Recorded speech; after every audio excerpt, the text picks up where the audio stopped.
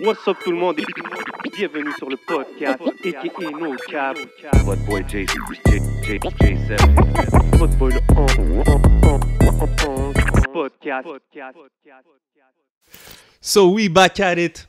Épisode 63. Yes, sir. Yes, sir. Toujours dans le légendaire Hidden Showroom. N'hésitez pas à prendre votre rendez-vous avec Bodo. Holla at. Yes, on est toujours sous l'ambiance Smoke Signals, Canis s'attaquer, allez voir la famille. Oui, they got us right. Yeah, man. Et bien sûr, big shout out à Rare Drinks. Vous pouvez les retrouver au 2150 Rachel Est. Pour les meilleurs goodies, c'est le plug de votre plug. Yes, sir. Vous savez comment qu'on fait chaque semaine au podcast. Euh, Aujourd'hui, on a un invité important au podcast. C'est quelqu'un euh, qui put in work dans la scène musicale québécoise depuis plus que 15 ans. Derrière les succès de, de noms comme Loud, Rhymes, Chachou, Impost, Connaisseur, récemment le projet de White Bee, euh, c'est aussi l'architecte de ce qu'on appelle le rap franco-ricain. I'm talking about the one and only Carlos Munoz in the building. What up, bro? Sir. ¿Qué pasó, chicos? On est là, on est là, bro. Ça fait plaisir que tu viennes chiller avec nous au podcast. Man, surtout, euh, comme je dis, tu sais, l'intro, I really mean what I say. Ça fait longtemps que tu es là, ça fait longtemps que je te connais. Ça, c'est vraiment respect. dope que tu sois passé, man. Euh, félicitations, je veux dire, pour toutes les années euh, de succès, surtout récemment avec tout ce qui se passe avec Joyride. Vous avez sorti un projet récemment, Ragers, si je ne me Yeah, trompe pas. yeah. C'est le dernier projet qui est sorti. J'ai vu aussi qu'il y a un, un, euh, show virtuel que vous avez fait, right? Ouais, les gars, ils viennent de faire un show virtuel il y a quelques jours. C'est ça. Puis je remarque que, que Joyride, quand même, vous êtes quand même bien adapté, genre, par rapport à la pandémie avec les shows virtuels de, de 514, Connaisseurs. Puis là, je vois euh, Rager. Je pense qu'il y en a eu d'autres aussi, right? Ouais, on a fait Lova aussi. Lova, OK. ouais. Rhymes aussi, je pense, en a fait un. Rhymes, ouais, Yeah. Rhymes 514, Connaisseur, Lova, puis euh, Ragers. C'est ça, c'est quand même dope à voir que- comment que vous êtes adapté vite. C'était comment pour vous vraiment le shift avec la pandémie, euh, dealer avec tout ça? Ouais, je sais pas, je sais pas si j'appellerais ça une adaptation. Ça, ça- ça a été un trip, en fait. Il y avait cette possibilité-là de faire quelque chose dans un contexte qui est fucking bizarre, si tu veux, là. Euh, Mais c'est dope l'approche. I like that approach. Ouais, ben c'est ça, c'est que, surtout pour nos gars qui tournaient beaucoup, surtout Loud, Rhymes, qui faisaient beaucoup de shows, sais, Mm-hmm. année après année. Euh, Dans les dernières années, avec Loud, on était à peu près à 100 dates par année, non-stop. Fait qu'à un moment donné, tout allait vraiment vite. Puis That's pouf, a lot of bags, sans ben, show, là. Ouais, ouais, c'est ça. Puis il y a eu- il y, a eu cette pause super soudaine. C'est pas comme si on l'avait prédit, tu sais, on n'avait on n'avait pas anticipé ça. Nous, ça a été... euh, le premier hit, ça a été... On allait... Il y allait... euh, official support Travis Scott au Métro Métro deuxième édition. Hmm. Euh, tu sais, euh, on avait la possibilité de faire une production pas exactement du niveau du Centre Bell, mais tu sais, euh, Olivier nous a dit, yo. I want this big thing. Fait qu'on avait, on avait la possibilité de faire quelque chose de grandiose dans, dans, dans un festival. Shit, c'est vraiment euh, dope. Urbain, montréalais, chez nous, tu sais. Fait qu'on on avait vraiment hâte de le faire, puis finalement, ben, la pandémie est arrivée. Fait que ça, ça a été le premier hit, puis après, bon, on s'est dit, bon, ah, yo, ça va durer probablement une couple de semaines, puis une couple de mois, puis... Fait qu'au début, j'ai eu l'impression que les gens ont paniqué, le, le monde de, la musique a paniqué, tout le monde s'est mis à faire des lives Facebook, à chier tout de suite. Tu vois, les, les, gars, ils sortaient leur guitare, puis ils grattaient, ça avec un mauvais son. Même les verses au début, c'était fucking whack, tu sais. Comme tout le monde a essayé de, on dirait, de Bah, s'adapter. c'était pas si whack. le son était pourri. Tout Ok, ça, ouais, le son, Oui, bro, c'est- Ouais, I mean, it's music. If it sounds bad, c'est 100%. off. Avec? RZA, là. Ouais, RZA Premier, they looked on, old le premier, on that le, one. yo, là. le premier RZA, c'était presque triste. Là. Ouais. So, at the end of the day, il y a une question d'adaptation, mais il y a une question aussi de ne pas paniquer. Tu vois? Parce que on a- les gens qui se sont mis à réagir après deux, trois semaines, il y a- après trois semaines, il y avait du monde qui était déjà en train d'essayer de faire des trucs live, euh, tu sais, improviser, tout ça.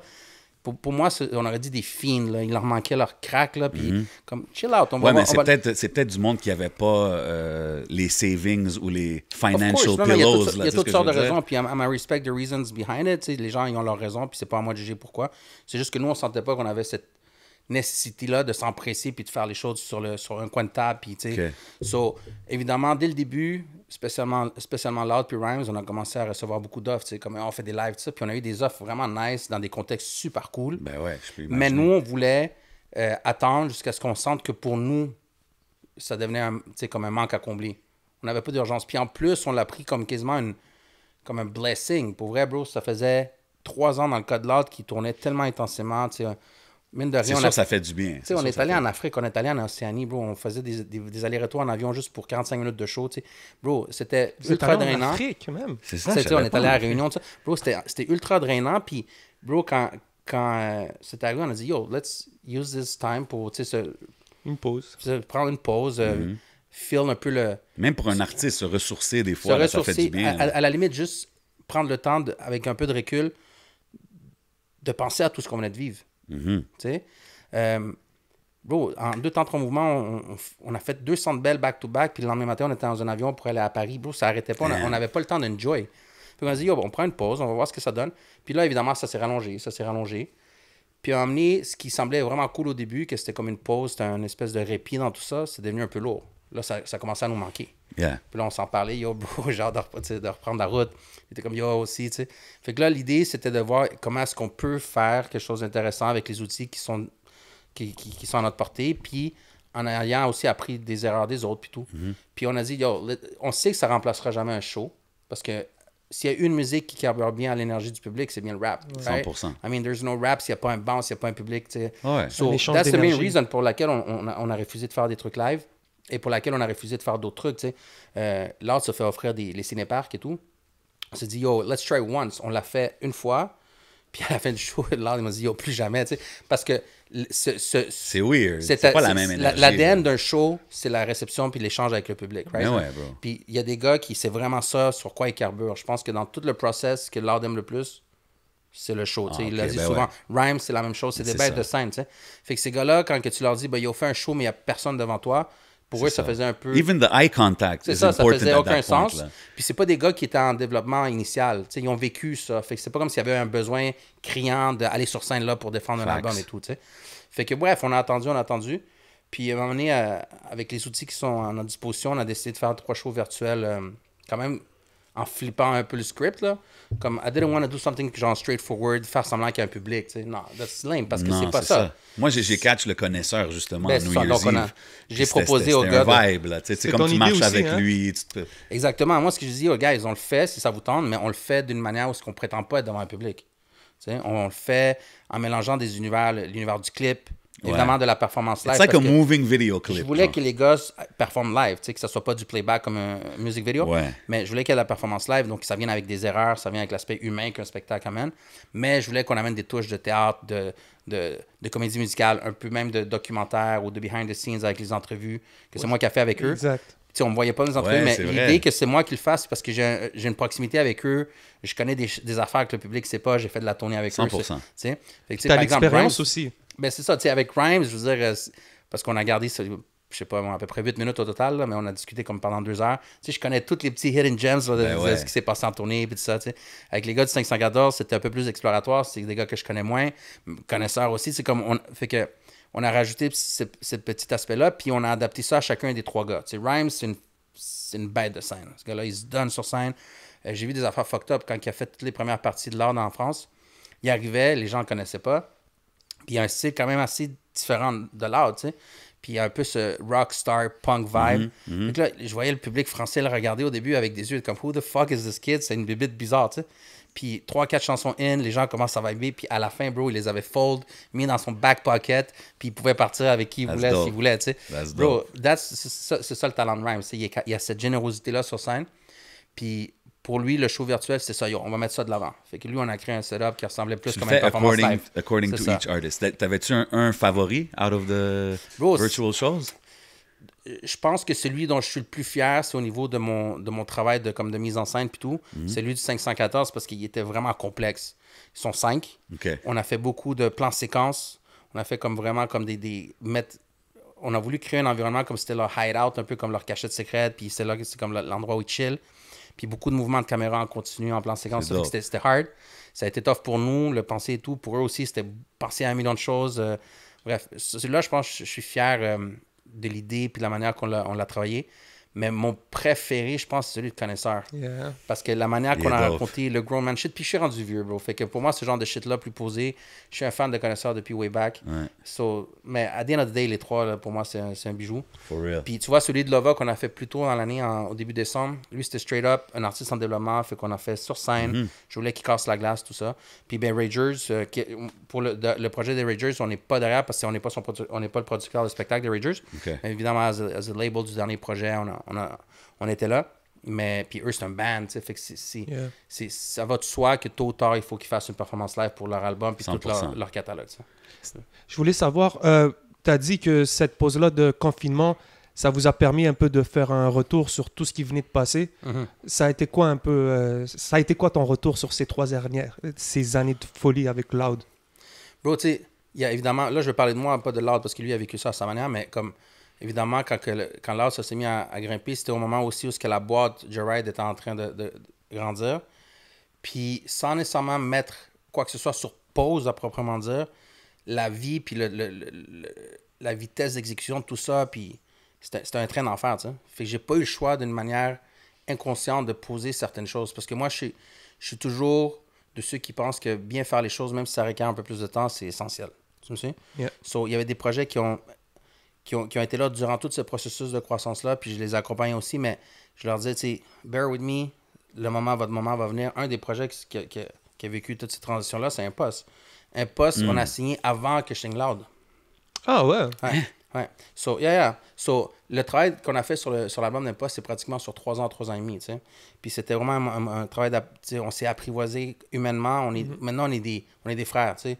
Passe, puis moi, on est, on est rendu des frères sur cette particularité-là où ce qu'on a appris à se connaître artistiquement et humainement à travers un processus de création d'album qui aurait pu se faire peut-être en six mois, en un an, whatever, mais qui a pris plus de trois ans depuis que moi je suis là. Lui, il travaille dans- encore depuis plus longtemps, tu sais. Fait que il y a des projets comme ça qui m'ont suivi durant cette croissance-là, mais pour moi, l'important, c'est de pouvoir contrôler la croissance, puis pas de sortir au bout de tout ça plus faible qu'au début. Tu me sais? Yeah. Parce que tu peux manger des shots à vouloir grossir trop vite. Tu sais? So, ici, il fallait que je tienne, il fallait que je tienne les rênes d'une carrière qui explosait ici et en- à l'international. Il y a plein de choses que j'apprenais au fur et à mesure qu'on les faisait. Je n'ai pas la prétention de dire que j'avais eu un autre lard avant. Là. C'était pas le cas. Non, Euh, euh, j'avais jamais vécu ça. J'avais jamais vécu cette transition d'être un gars qui cogne à des portes puis se fait dire non, non, non, non. Puis là, que c'était tout le monde cogne à notre porte. Puis si tu dis non, t'es mal perçu. Puis tout. Il y avait toute une gestion humaine, une gestion professionnelle, une gestion de croissance d'entreprise. Je suis un gars qui fait de la musique, qui fait du rap. J'ai jamais été aux commandes d'une entreprise qui grossit. C'était une première pour moi aussi. tu sais. Ok. So, C'est- il y a l'aspect business, il y a l'aspect artistique, il y a l'aspect humain, il y a l'aspect. Il y a plein de choses qui se mélangent dans tout ça. Puis quand tu fais juste exécuter, exécuter, tu éteins des feux, tu éteins des feux, tu cours après ta queue. Tu sais, comme un chien qui tourne Yeah. en rond. À, à son point, tu es comme. Tant mieux, tout se passe bien, ou plutôt bien, ou très très bien, whatever. Mais parce que je pense, puis knock on wood, que on a réussi à passer à travers cette étape-là sans manger vraiment de. Tu sais, comme des fatalities, là. Mais à quelque part, il y a de la chance aussi, parce que je pense que quand il y a des personnes intelligentes qui se mettent ensemble puis réfléchissent bien au truc, ça se peut que les chances soient de c'est ce qui nous est arrivé. Mais on a vécu tout ça, puis on faisait juste courir après notre sais? En tout cas, peut-être moins l'autre parce que lui était concentré sur son côté artistique, mais moi, je devais répondre aux besoins de ce projet-là, qui était magnifique à, à tout niveau, sans lui montrer que de, de l'autre côté, évidemment, j'étais épuisé, tout ça, puis tout ça, puis I needed to do well for everyone. tu sais. T'as Yes. t'as dit quelque chose d'intéressant parce que c'est le- quand avec l'album puis le succès de Loud, c'est un succès monstre. Puis t'étais là avant, puis t'as eu des succès, mais comme Loud brought it to like another level. Puis Of course. ça doit être ça doit être difficile à gérer parce que you're dealing with artists and all that, mais ta compagnie aussi, you need more employees, you need more this, you need more Ouais, ouais. manpower à un moment Ouais. donné, right? Fait que ça, ça doit être quand même. euh, Tout à fait, Est-ce que ton corporate background t'a aidé, genre pour. euh, Ben oui, je pense que je suis une personne très structurée, très organisée. Euh, j'ai travaillé dans le corporatif très longtemps, dans, dans un- des paramètres extrêmement euh, stricts, sévères. euh, non, avec- parce que le monde ne réalise pas que you need more people to help you. Tu peux pas faire tout, Ben, tout c'est seul. ça. Puis tu vois, là, je me suis mis à engager du monde durant cette période-là. On a- la boîte a grossi au niveau de, de ressources humaines et tout, mais j'avais même pas le temps d'être sur le plancher pour les former. Parce qu'en 2018, on a passé quatre mois en Europe. OK? So, basically, un jour sur trois, j'étais out of the country. Pendant que ma compagnie ici était en train de grossir, tu vois? Puis tu es sur un décalage horaire, puis tu es sur un décalage humain et d'énergie parce que, veux, veux pas, être en tournée, c'est extrêmement drainant. tu sais? Euh, parce que c'est une routine qui s'installe, c'est difficile sur le corps, j'ai plus 20 ans. Je le dis tout le temps, j'aurais voulu vivre ça à 22 ans. Est-ce que est-ce que tu as tour à la majorité des tournées de Loud, genre? J'ai manqué, toujours deux, avec lui? j'ai manqué deux shows de l'art dans tout Ok, depuis qu'on wow. ensemble. Yeah. Fait que tu, tu actes aussi as manager officiel Ouais, pour ouais, ouais, Loud? c'est ça. OK, fait que C'est beaucoup de chapeaux. C'est beaucoup de chapeaux. Puis c'est un des artistes chez Joyride euh, où ce que la- le rôle de manager est extrêmement important parce que c'est tellement sûr. rendu gros que la prise de micro-décisions puis de décisions en général est, est beaucoup plus importante qu'un projet qui est en développement. Tu sais, on- je dis souvent à la blague, les artistes, quand ils cherchent un manager, whatever, ils doivent comprendre que pour avoir un manager, il faut qu'il y ait quelque chose à gérer. Tu vois? Définitivement. Puis, euh, ben, là, il y a définitivement beaucoup de He's trucs got a à lot of gérer. things to Beaucoup handle, de yeah, trucs à gérer. Mais t'es pas tout seul aussi. Tu sais, je pense que t'as Harry qui est. Bien sûr, tu sais, on a une équipe et chacun a ses fonctions et tout. Sauf que dans le, dans le cadre de l'art, c'est vraiment comme on est un. On a un cerveau bicéphale, tu sais. Il y a Yes. deux côtés un cerveau, puis c'est Ok. lui puis moi. Yes. Puis on a la chance, puis il faudrait poser la question à Simon pour voir s'il voit la chose de la même manière, j'espère.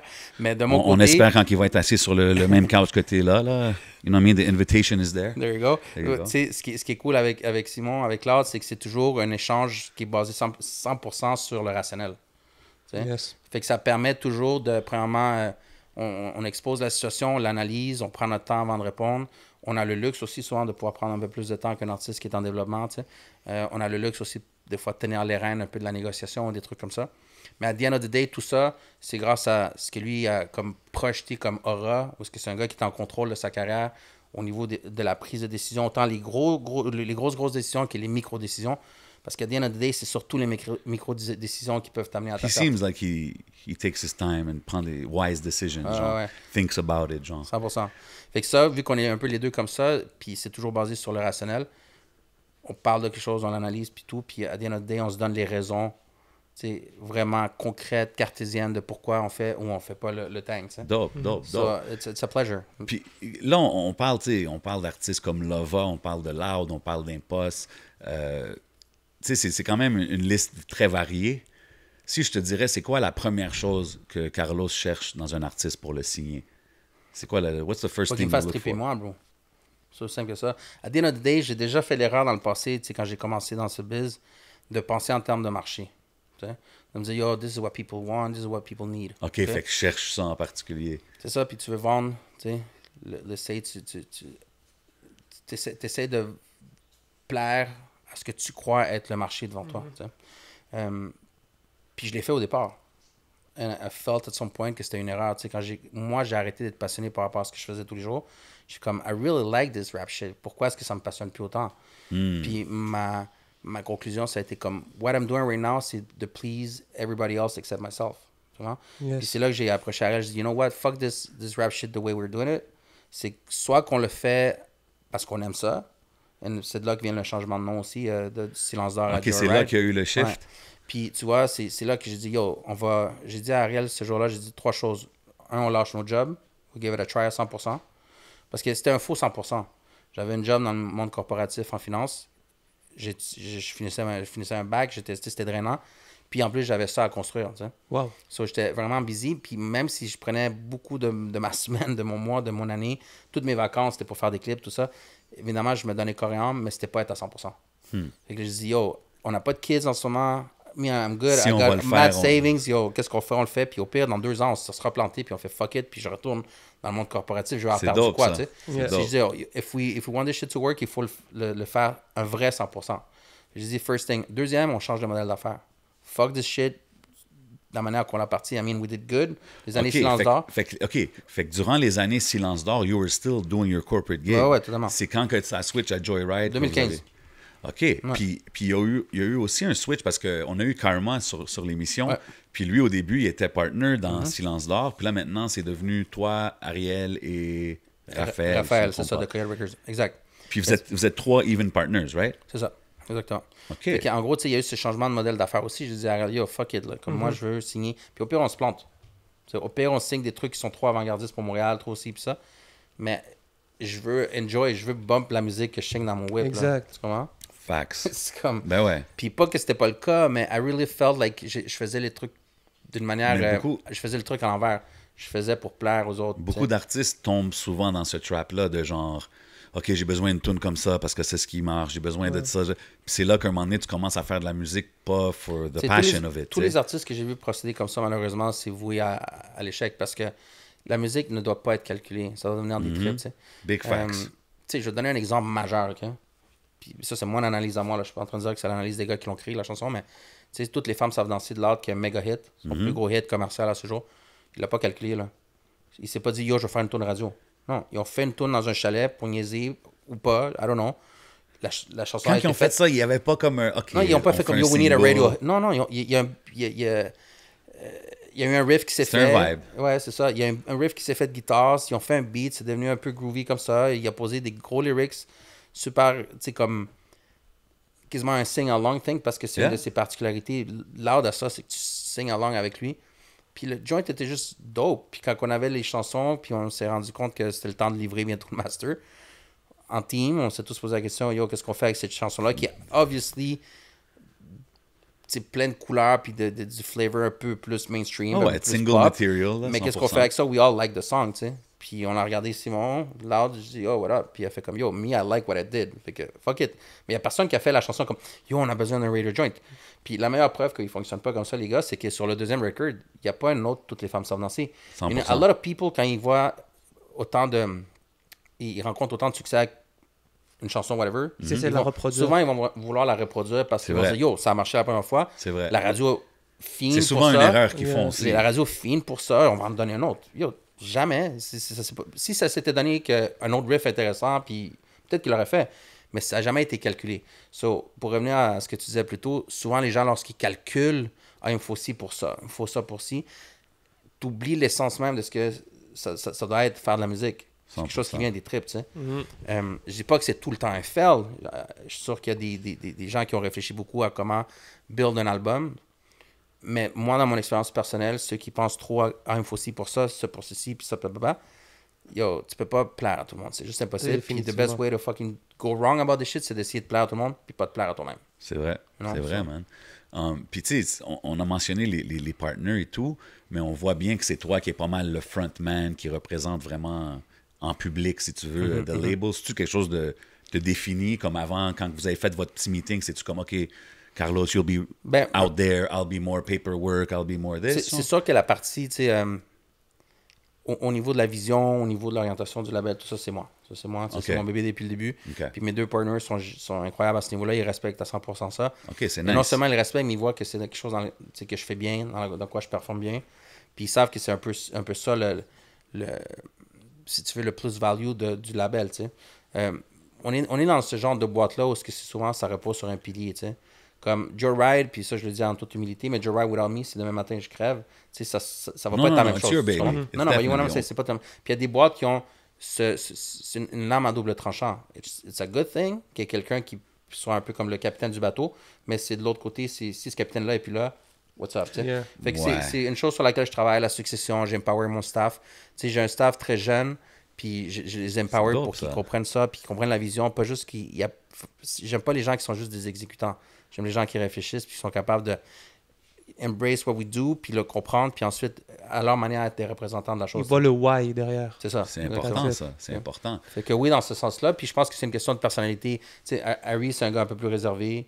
C'est plus un gamer, tu sais. Raph, mais tu sais. c'est- Et avec Raph, le HHQC. Gaming, on le voit là. C'est ça, tu sais. c'est- comme. Il y a d'autres. Il y a, il y a différentes personnalités. Puis anyway, moi, je suis un rap nerd, bro.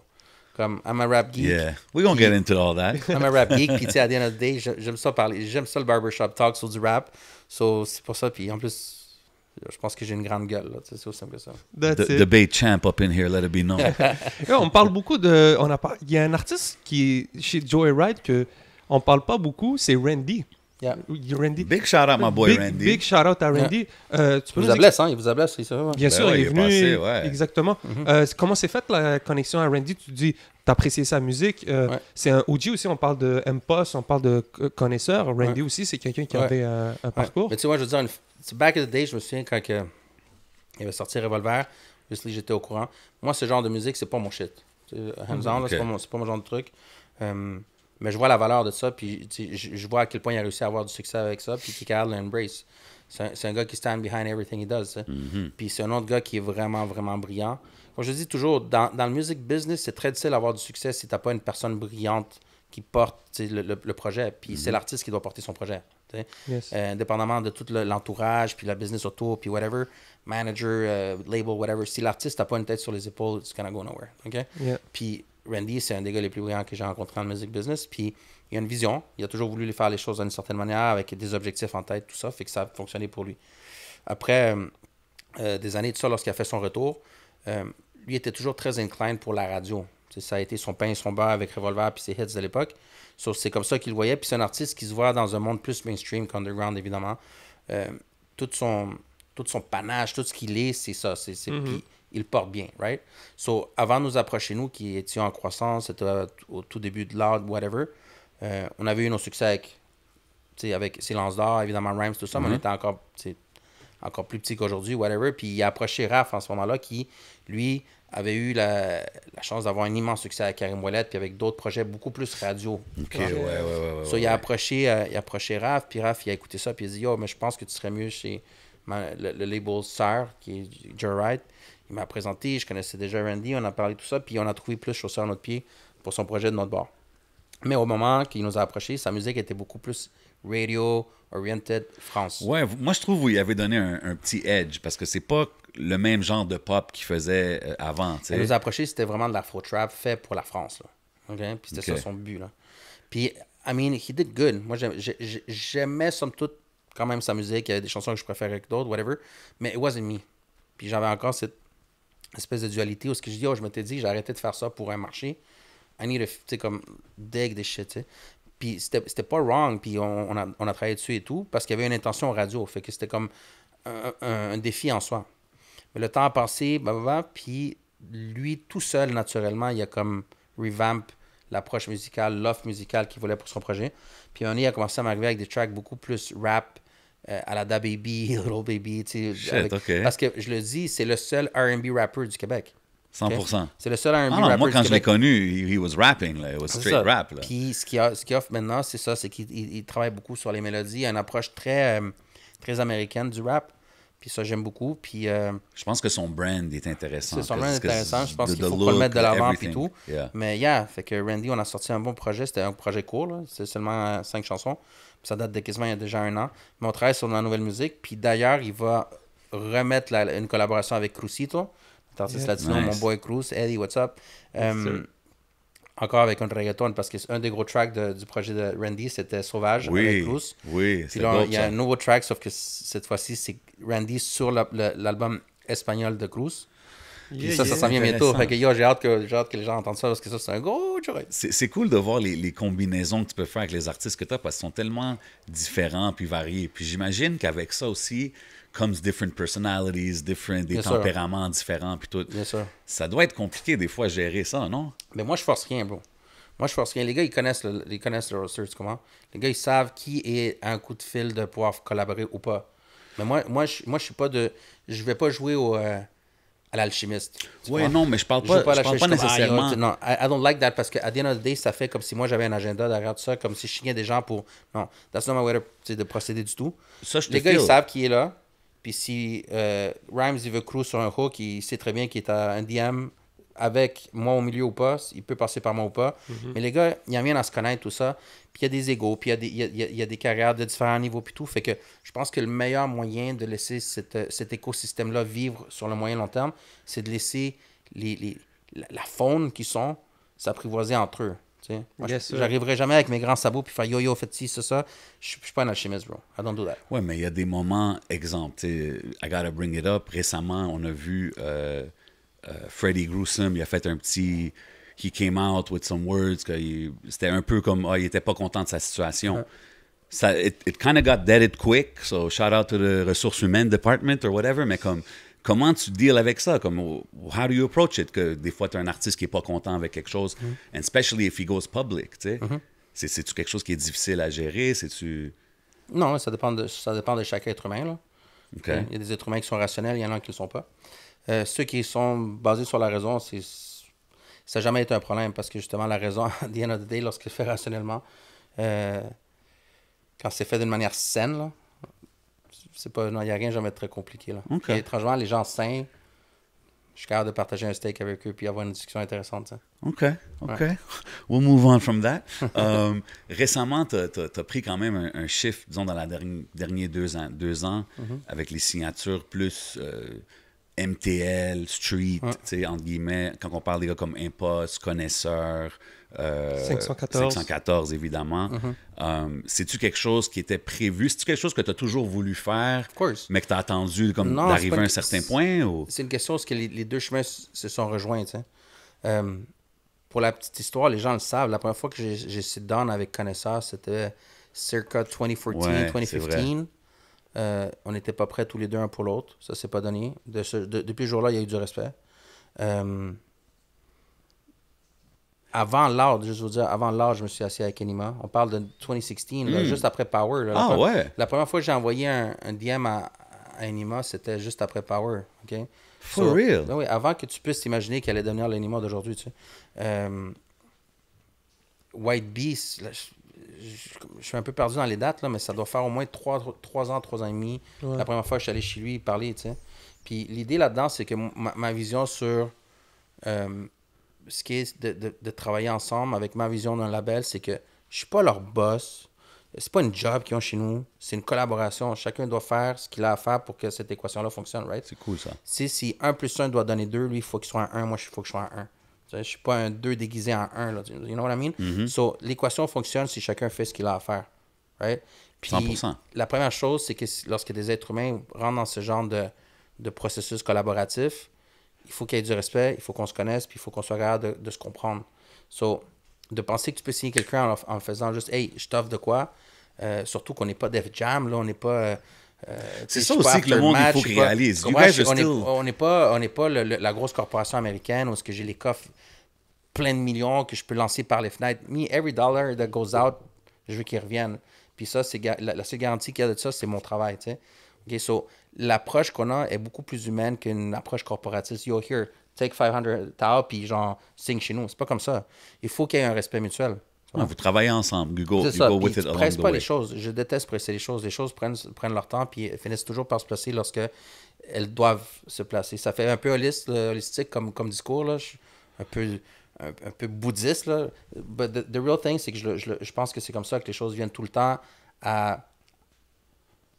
Tu sais, on finit par bien faire les choses lorsque tu donnes le, le temps aux choses de, de 100%. se concrétiser d'une manière naturelle. Tu vois? Surtout que tu as vu la game évoluer. T'étais pas. Je pense qu'à un moment donné, tu as vu le rap montréalais arriver, puis prendre de l'ampleur, puis là, tu as vu des. As vu sûrement des, des, des têtes sortir plus que d'autres. Tu t'es Ouais. dit, OK, ça- c'est intéressant. Guys, regardez ce que j'ai comme structure. Je vois ce que vous faites. Let's go together, puis on peut ramener à ça. 100%. Puis moi, je vends pas du rêve. Je dis, voici ce que je peux faire. Si vous êtes down avec ce genre de contexte, venez avec nous, si ça vous tente. sais. Euh, early on, quand Rhymes nous a approchés, en 2010, c'est lui qui nous a approchés parce qu'il a vu qu'il y avait du moment autour de Early Days de Silence d'Or. Il a vu ce qu'on faisait avec Karma. Il a fait un plus un, il me dit, yo, ça me tente d'être avec ces gars-là. Il y a une belle approche artistique. Il nous a approchés, il nous a fait, il a mis ses conditions sur la table.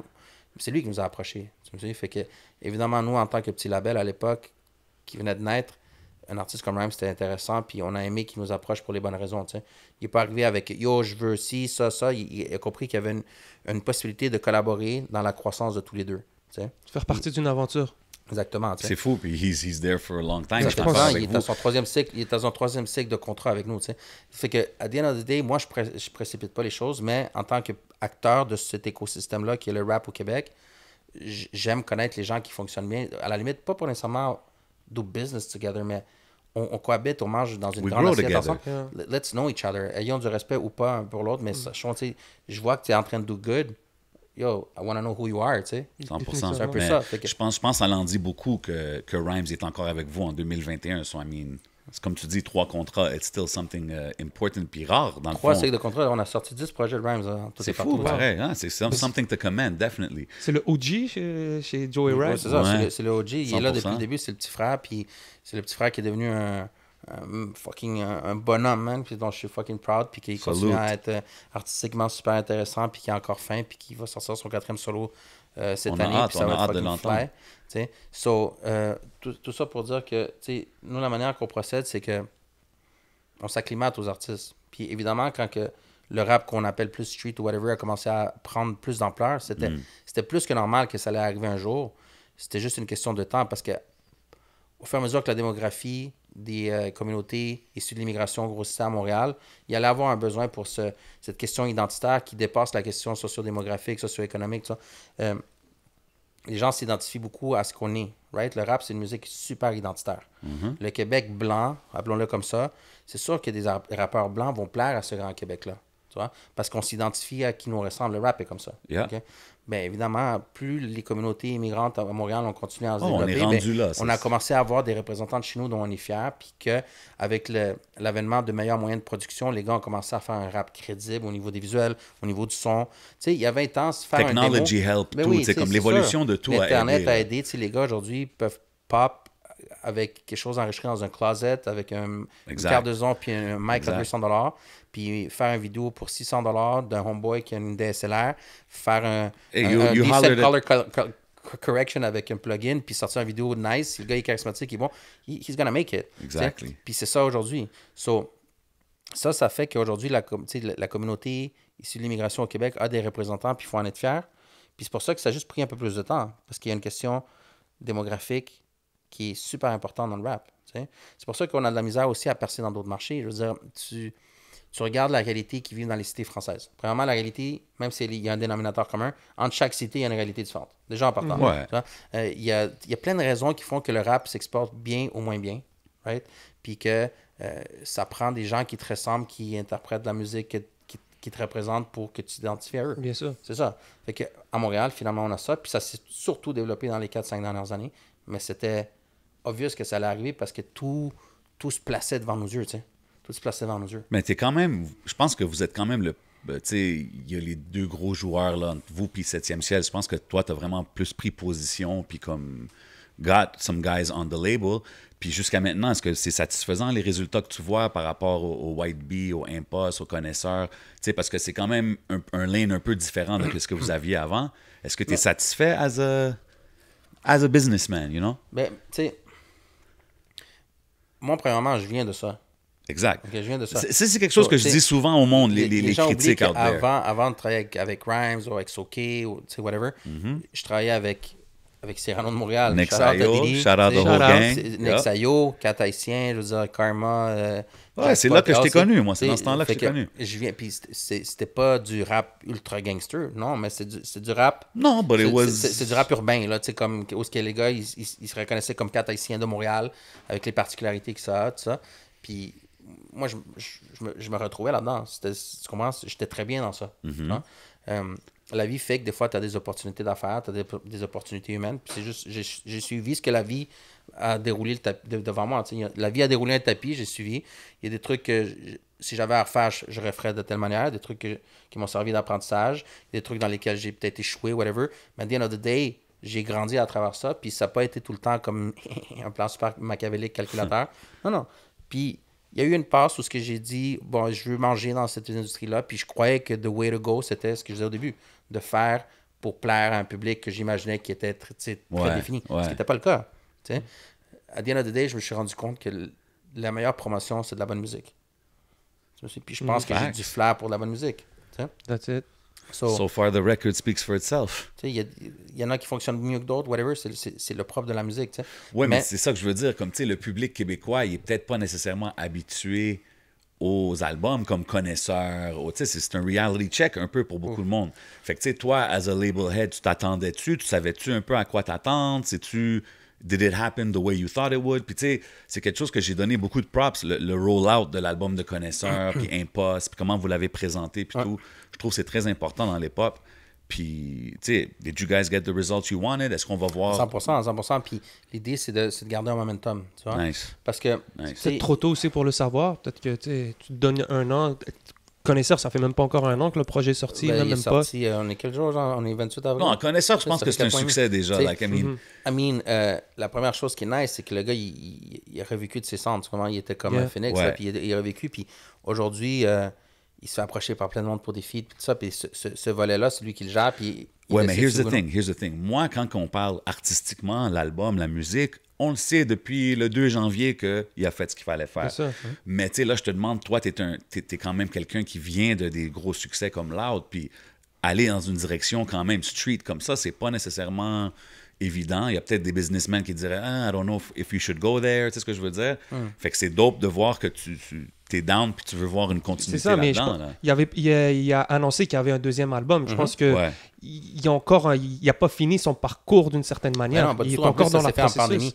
J'ai hâte de tourner avec. avec euh, Ça, Ça, ça va c'est être ça, fou. va notre, être fou, notre- bro. notre équipe de booking est déjà, travaille déjà là-dessus. On commence à avoir des offres et Yo, tout. le premier show à Montréal de connaisseurs, Ouais, ouais, là, j'ai ça va être de- légendaire. J'ai j'ai hâte de présenter cette idée-là. Mais bref, tu sais, at the end of the day, on, on a vécu ça dans un contexte super particulier. Mhm. Je veux travailler ce projet-là dans un contexte plus normal, tu sais. Faire des shows, euh, être capable de faire les choses avec une- un, un côté plus humain, un peu plus comme ce qu'on est, ce qu'on aime. Ce vous venez là dans- comme... dans la Surtout musique, pour un gars comme lui aussi, que quand que lui il faisait son rap, it was, tu sais, the good old, yeah, c'était pas social media et tout ça. Là, fait, que même Pourquoi pour j'ai voulu travailler avec Connaissance, c'est parce que j'aime ce qu'il fait. Tu vois? Mhm. Je reviens à ce que je disais en, en début d'émission. L'idée pour moi maintenant, c'est si je trippe, I'm gonna do it. Plus simple que ça. Facts, c'est dope ça. C'est dope. C'est comme ça. Um, speaking of triper, having a good time, euh, je t'ai vu récemment au, euh, au podcast Imprévu qu'on a fait avec euh, Mike Zop. Yeah. Um, Shout out à The Prince. Big shout out to Jada Prince. Shout on, out voit toujours, Jada. on voit toujours dans les alentours, you know what I mean? 630 MG, on leur show toujours love. Um, Est-ce qu'on peut s'attendre à peut-être une euh, collaboration, quelque chose, Mike's Up, Joyride? I mean, I don't know. I'm just throwing... Ici, je fais souvent ça. I throw things in the atmosphere, Yeah, yeah. you know what I mean? So, c'est sûr que j'ai vu que la chimie est nice. Je te vois autour de Jada Prince. I got, I got to throw it out there for Mike's Up, you know what I Yeah, mean? yeah. Écoute, le, le- le temps définira exactement la réponse que je m'apprête à donner. Very good businessman, this guy, man. Mais c'est sûr et certain que c'est sûr et certain que connexion il y a. C'est tout ce que j'ai à dire. Nice, For nice. Yeah. C'est très dope. C'est un très bon projet imprévu, justement. Ben, tu sais, quand on parle de, de, du rap street et tout, Mhm. tu sais, peut-être qu'au début, euh, tu veux travailler avec des gars comme euh, Connaisseur, euh, euh, 514, tu tout tes portes, mais là, on dirait que même c'est le street qui vient vers toi. D'une certaine Absolument. manière, quand il y a, il y, a il y, a, il y a un truc que comme les gens veulent apprendre, ils voient Ils que tu es en position. maintenant, les, ils, ils ont une soif d'a- d'apprendre. La Ouais. dernière fois, on avait euh, le gérant de Genius, euh, le gérant de YH. On lui a demandé Shout si, out à YH d'ailleurs. Big shout out. Puis quand on lui a demandé avec qui tu voudrais t'asseoir pour apprendre la game, il a dit Moi, je vais m'asseoir avec Carlos Munoz de Joyride. Donc, les gens, je pense que maintenant, il y a un savoir, il y a une, une fin de vouloir savoir comment la game fonctionne. You're a full-blown mogul out here, bro. Mais je pense que puis c'est intéressant ce que tu dis, parce qu'il y a une chose qui ressort souvent, que les gens me rencontrent, c'est que je suis très professoral. J'aime j'aime donner du knowledge. Puis tu sais, même quand les gars s'assoient avec moi, on, puis on parle des deals puis tout, avant même qu'on signe whatever, je prends vraiment le temps de leur expliquer vraiment à 100% ce que ça veut dire, sais, la, la relation dans, la- dans laquelle on risque de s'embarquer ensemble. tu sais. Je veux qu'ils comprennent tout. Parce que je veux pas, down the road, hey yo, j'avais pas compris ça, puis la personne est mécontente. Pour moi, du moment que le, le pa- le papier est signé, puis qu'on s'est bien compris, j'espère qu'on n'aura jamais à retourner à ce papier-là parce qu'il va y avoir une dispute, parce qu'il va y avoir un litige, whatever. Ce que je veux, c'est qu'on on, on fasse les, les formalités, là, on signe, puis qu'après, on move on à faire ce qu'on aime. Parce que I hate the part. Pour vrai, moi, la partie euh, légale, tout ça, c'est une partie que je déteste. Je veux dire, euh, passer à travers des. pa- Parler avec mon avocat, là, il me rentre dans des shit juridiques, là, ça, je suis tellement Ouais. busy en plus que. Puis le pire, c'est que j'ai étudié en droit, tu sais. Puis, mais comme. Damn, c'est- ok. That's why I left, parce que c'était pas mon shit. So, une fois que cette partie-là est faite, c'est là que j'ai du fun. On commence à bosser sur la partie qui me drive, celle qui fait que je me lève le matin. C'est de faire des albums, de sortir de la musique, de faire du, faire du, beat qui me permet de rouler les fenêtres baissées au printemps avec une clope et me sentir cool. That's what, that's what I like. tu sais. That's it. Arriver avec des idées de clips, arriver avec des idées de pochettes, arriver avec des. whatever. Sometimes it's Puis- the simple things that puis des matter. fois, même pas être créativement involved ou ce que juste recevoir as a fan. tu sais, Il y a un des moments que j'aime le plus de tout ce que je fais, c'est quand les artistes m'envoient des maquettes. ok? Comme c'est c'est un, c'est un rituel. là. Au bureau, là, en ce moment, on travaille en télétravail, mais comme au bureau, lorsque je reçois des maquettes, je fais tout le monde, genre, me foutre la paix, je m'isole, puis j'écoute le shit, tu sais. Puis, quand- puis par respect, souvent les artistes me demandent de garder ça pour moi, tu sais, de pas le montrer à personne parce que c'est pas mixé, puis tout, whatever. Ça, je le, je le vis dans mon petit moment, dans mon intimité, avec un casque, whatever. Mais des fois, ils sont comme, yo, voici. Puis quand le, le track est rendu comme prêt à être écouté par le public, je, je, je- je mets le, le, le beat super fort dans le bureau, puis je dérange tout le monde, puis je danse, puis je dis, yo, on va faire. Je suis super passionné, puis c'est la partie que j'aime le plus. And that's sais, that's what I'm doing. C'est pour la partie créative, la partie qui m'a amené à faire du rap depuis que j'ai l'âge de 12 ans. tu sais. Quand je suis tombé en amour avec le rap, tu sais. c'est ça. So, euh, c'est juste ça qui me drive. Tu me suis? Fait que euh, quand que je m'embarque dans un projet avec les gars, je veux qu'ils sachent dans quoi on s'embarque. Puis s'il faut que je leur transmette du, du- du savoir pour qu'on puisse parler le même langage. Bien sûr. on on n'est pas capable de parler le même langage, c'est voué à ce qu'on se comprenne pas à son point. Yeah. Tu sais? So, je prends vraiment le temps de léguer ça qui. Moi, malheureusement, personne ne me l'a légué. Tu sais, comme, tiens, apprends. J'ai dû l'apprendre moi-même. Tu sais? À force de, de lire, de poser des questions ou souvent analyser, whatever, ou juste faire des essais-erreurs. Beaucoup, beaucoup d'essais-erreurs. Puis maintenant, j'ai tout ce knowledge-là. Puis je le donne à mes employés, je le donne à mes artistes, je le donne aux gens autour qui le demandent. Je prends, je prends du temps. Des fois, même ma blonde est comme, bro, tu donnes, tu, tu Tu donnes trop de knowledge. tu donnes- mon amour, tu donnes trop de temps. à- je dis, yo, enseigner, c'est apprendre une deuxième fois. Oh, c'est tu, bon, tu ça. joues, tu joues. Quand que je t'ai introduce, j'ai dit on a un invité important. Puis quand que je dis ça, c'est parce que justement, tu es en train de créer le blueprint un peu. Nous, on n'a pas eu de blueprint avant nous de comment faire le label, comment rentrer dans le système, comment, etc., etc. You're creating that literally, tu sais. Puis je pense c'est super important que tu dis ça, que, que tu es down à, à- à pass it forward, tu sais, puis pa- pass the game along. Puis c'est dope quand que je vois des gars comme Jada Prince, des gars comme ça que je sais que they're hungry to learn the game and be in it, you know what I mean? So, Il y a une affaire qui est quand même. Est-ce que c'est différent de dealer avec des gars qui ont un background très street, tu sais, de s'asseoir avec un connaisseur, de s'asseoir avec des gars comme euh, euh, le 514, même euh, Mike Zop, tu sais que c'est des gars qui, qui font de- leurs affaires dans leur, dans leur domaine, mais qui sont quand même très business. Yeah. Et Mais c'est là la différence, bro, parce que street ou pas, ils sont pas d'hommes. Au contraire. ben, c'est clair, c'est Des clair. gars extrêmement Loin brillants. de dire que d'être on street, négociait, d'homme. on négociait avec le 514, pour donner un exemple, tu sais, souvent c'était one-on-one avec Lost. Tu sais, Lost, je lui parlais, puis j'oublie qu'il est 15-16 ans plus jeune que moi. Là. J'étais Gros comme, yo, gars, yo, gros gars. c'est- il y a- C'est il y a- ça. Smart guy. C'est un gars tellement posé, il y a tellement une, une- une maturité euh, émotive. il y a- parce que, à the end of moi, c'est- moi, ça, ça, c'est super important pour moi. C'est que la raison prime. Je l'ai dit depuis le début, la raison rationnelle, cartésien. Puis street ou pas, puis je reviens à ce que je dis encore, c'est que les gars qui fonctionnent dans ce rap game, c'est des gars brillants. Tu peux pas être dumb et réussir en rap. Si tu si es dumb puis tu réussis en rap, c'est parce que t'es un fluke, puis t'es un fit pipe, puis t'es voué à être broke à l'âge de 30 ans. OK? Yeah. Comme, I swear to God que Little Pump va être broke à 30 ans. facts. OK? Mais il y en a qui, y en a qui If vont... il- y en a qui vont rester rich, money-wise, et humainement, Bien sûr. pour une très très longue période jusqu'à la mort parce qu'ils ont ça, tu vois, ils ont cette Yeah. fibre-là. Puis tous les gars que tu as nommés, en fait, je pense que je peux dire systématiquement tous les gars du label, OK? Les plus street, les moins street, les scolarisés, les pas scolarisés, whatever, ils ont tous ça. C'est des gars qui sont street smart, ils sont brillants. That's it. Nice. Tu I leur found expliques it. quelque I chose, found what you need. puis ils You need to be comprennent. smart, man. Tu me souviens? Yeah. Ils comprennent, puis ils, ont- ils se font pas des, des scénarios fucked up. Puis ouais, non, c'est des gars rationnels, c'est des gars qui comprennent, c'est des gars qui savent que la vie est un élastique que tu peux tirer, mais tu peux aussi le rompre si tu le tires trop. Comme ils comprennent tous ces aspects-là. Puis c'est pour ça que c'est un plaisir de travailler avec des gars brillants. Puis j'ai fait l'erreur dans le passé de travailler avec du monde beaucoup plus émotif. Aujourd'hui, je le dis, je signe des êtres humains avant tout. Si l'humain qui est devant moi n'est pas une personne avec qui je pourrais sustain une relation d'affaires de 3, 4, 5, 6, it's not gonna happen. ça. J'ai plus de temps, d'énergie, puis cette passion-là de m'obstiner puis d'avoir des mots de tête.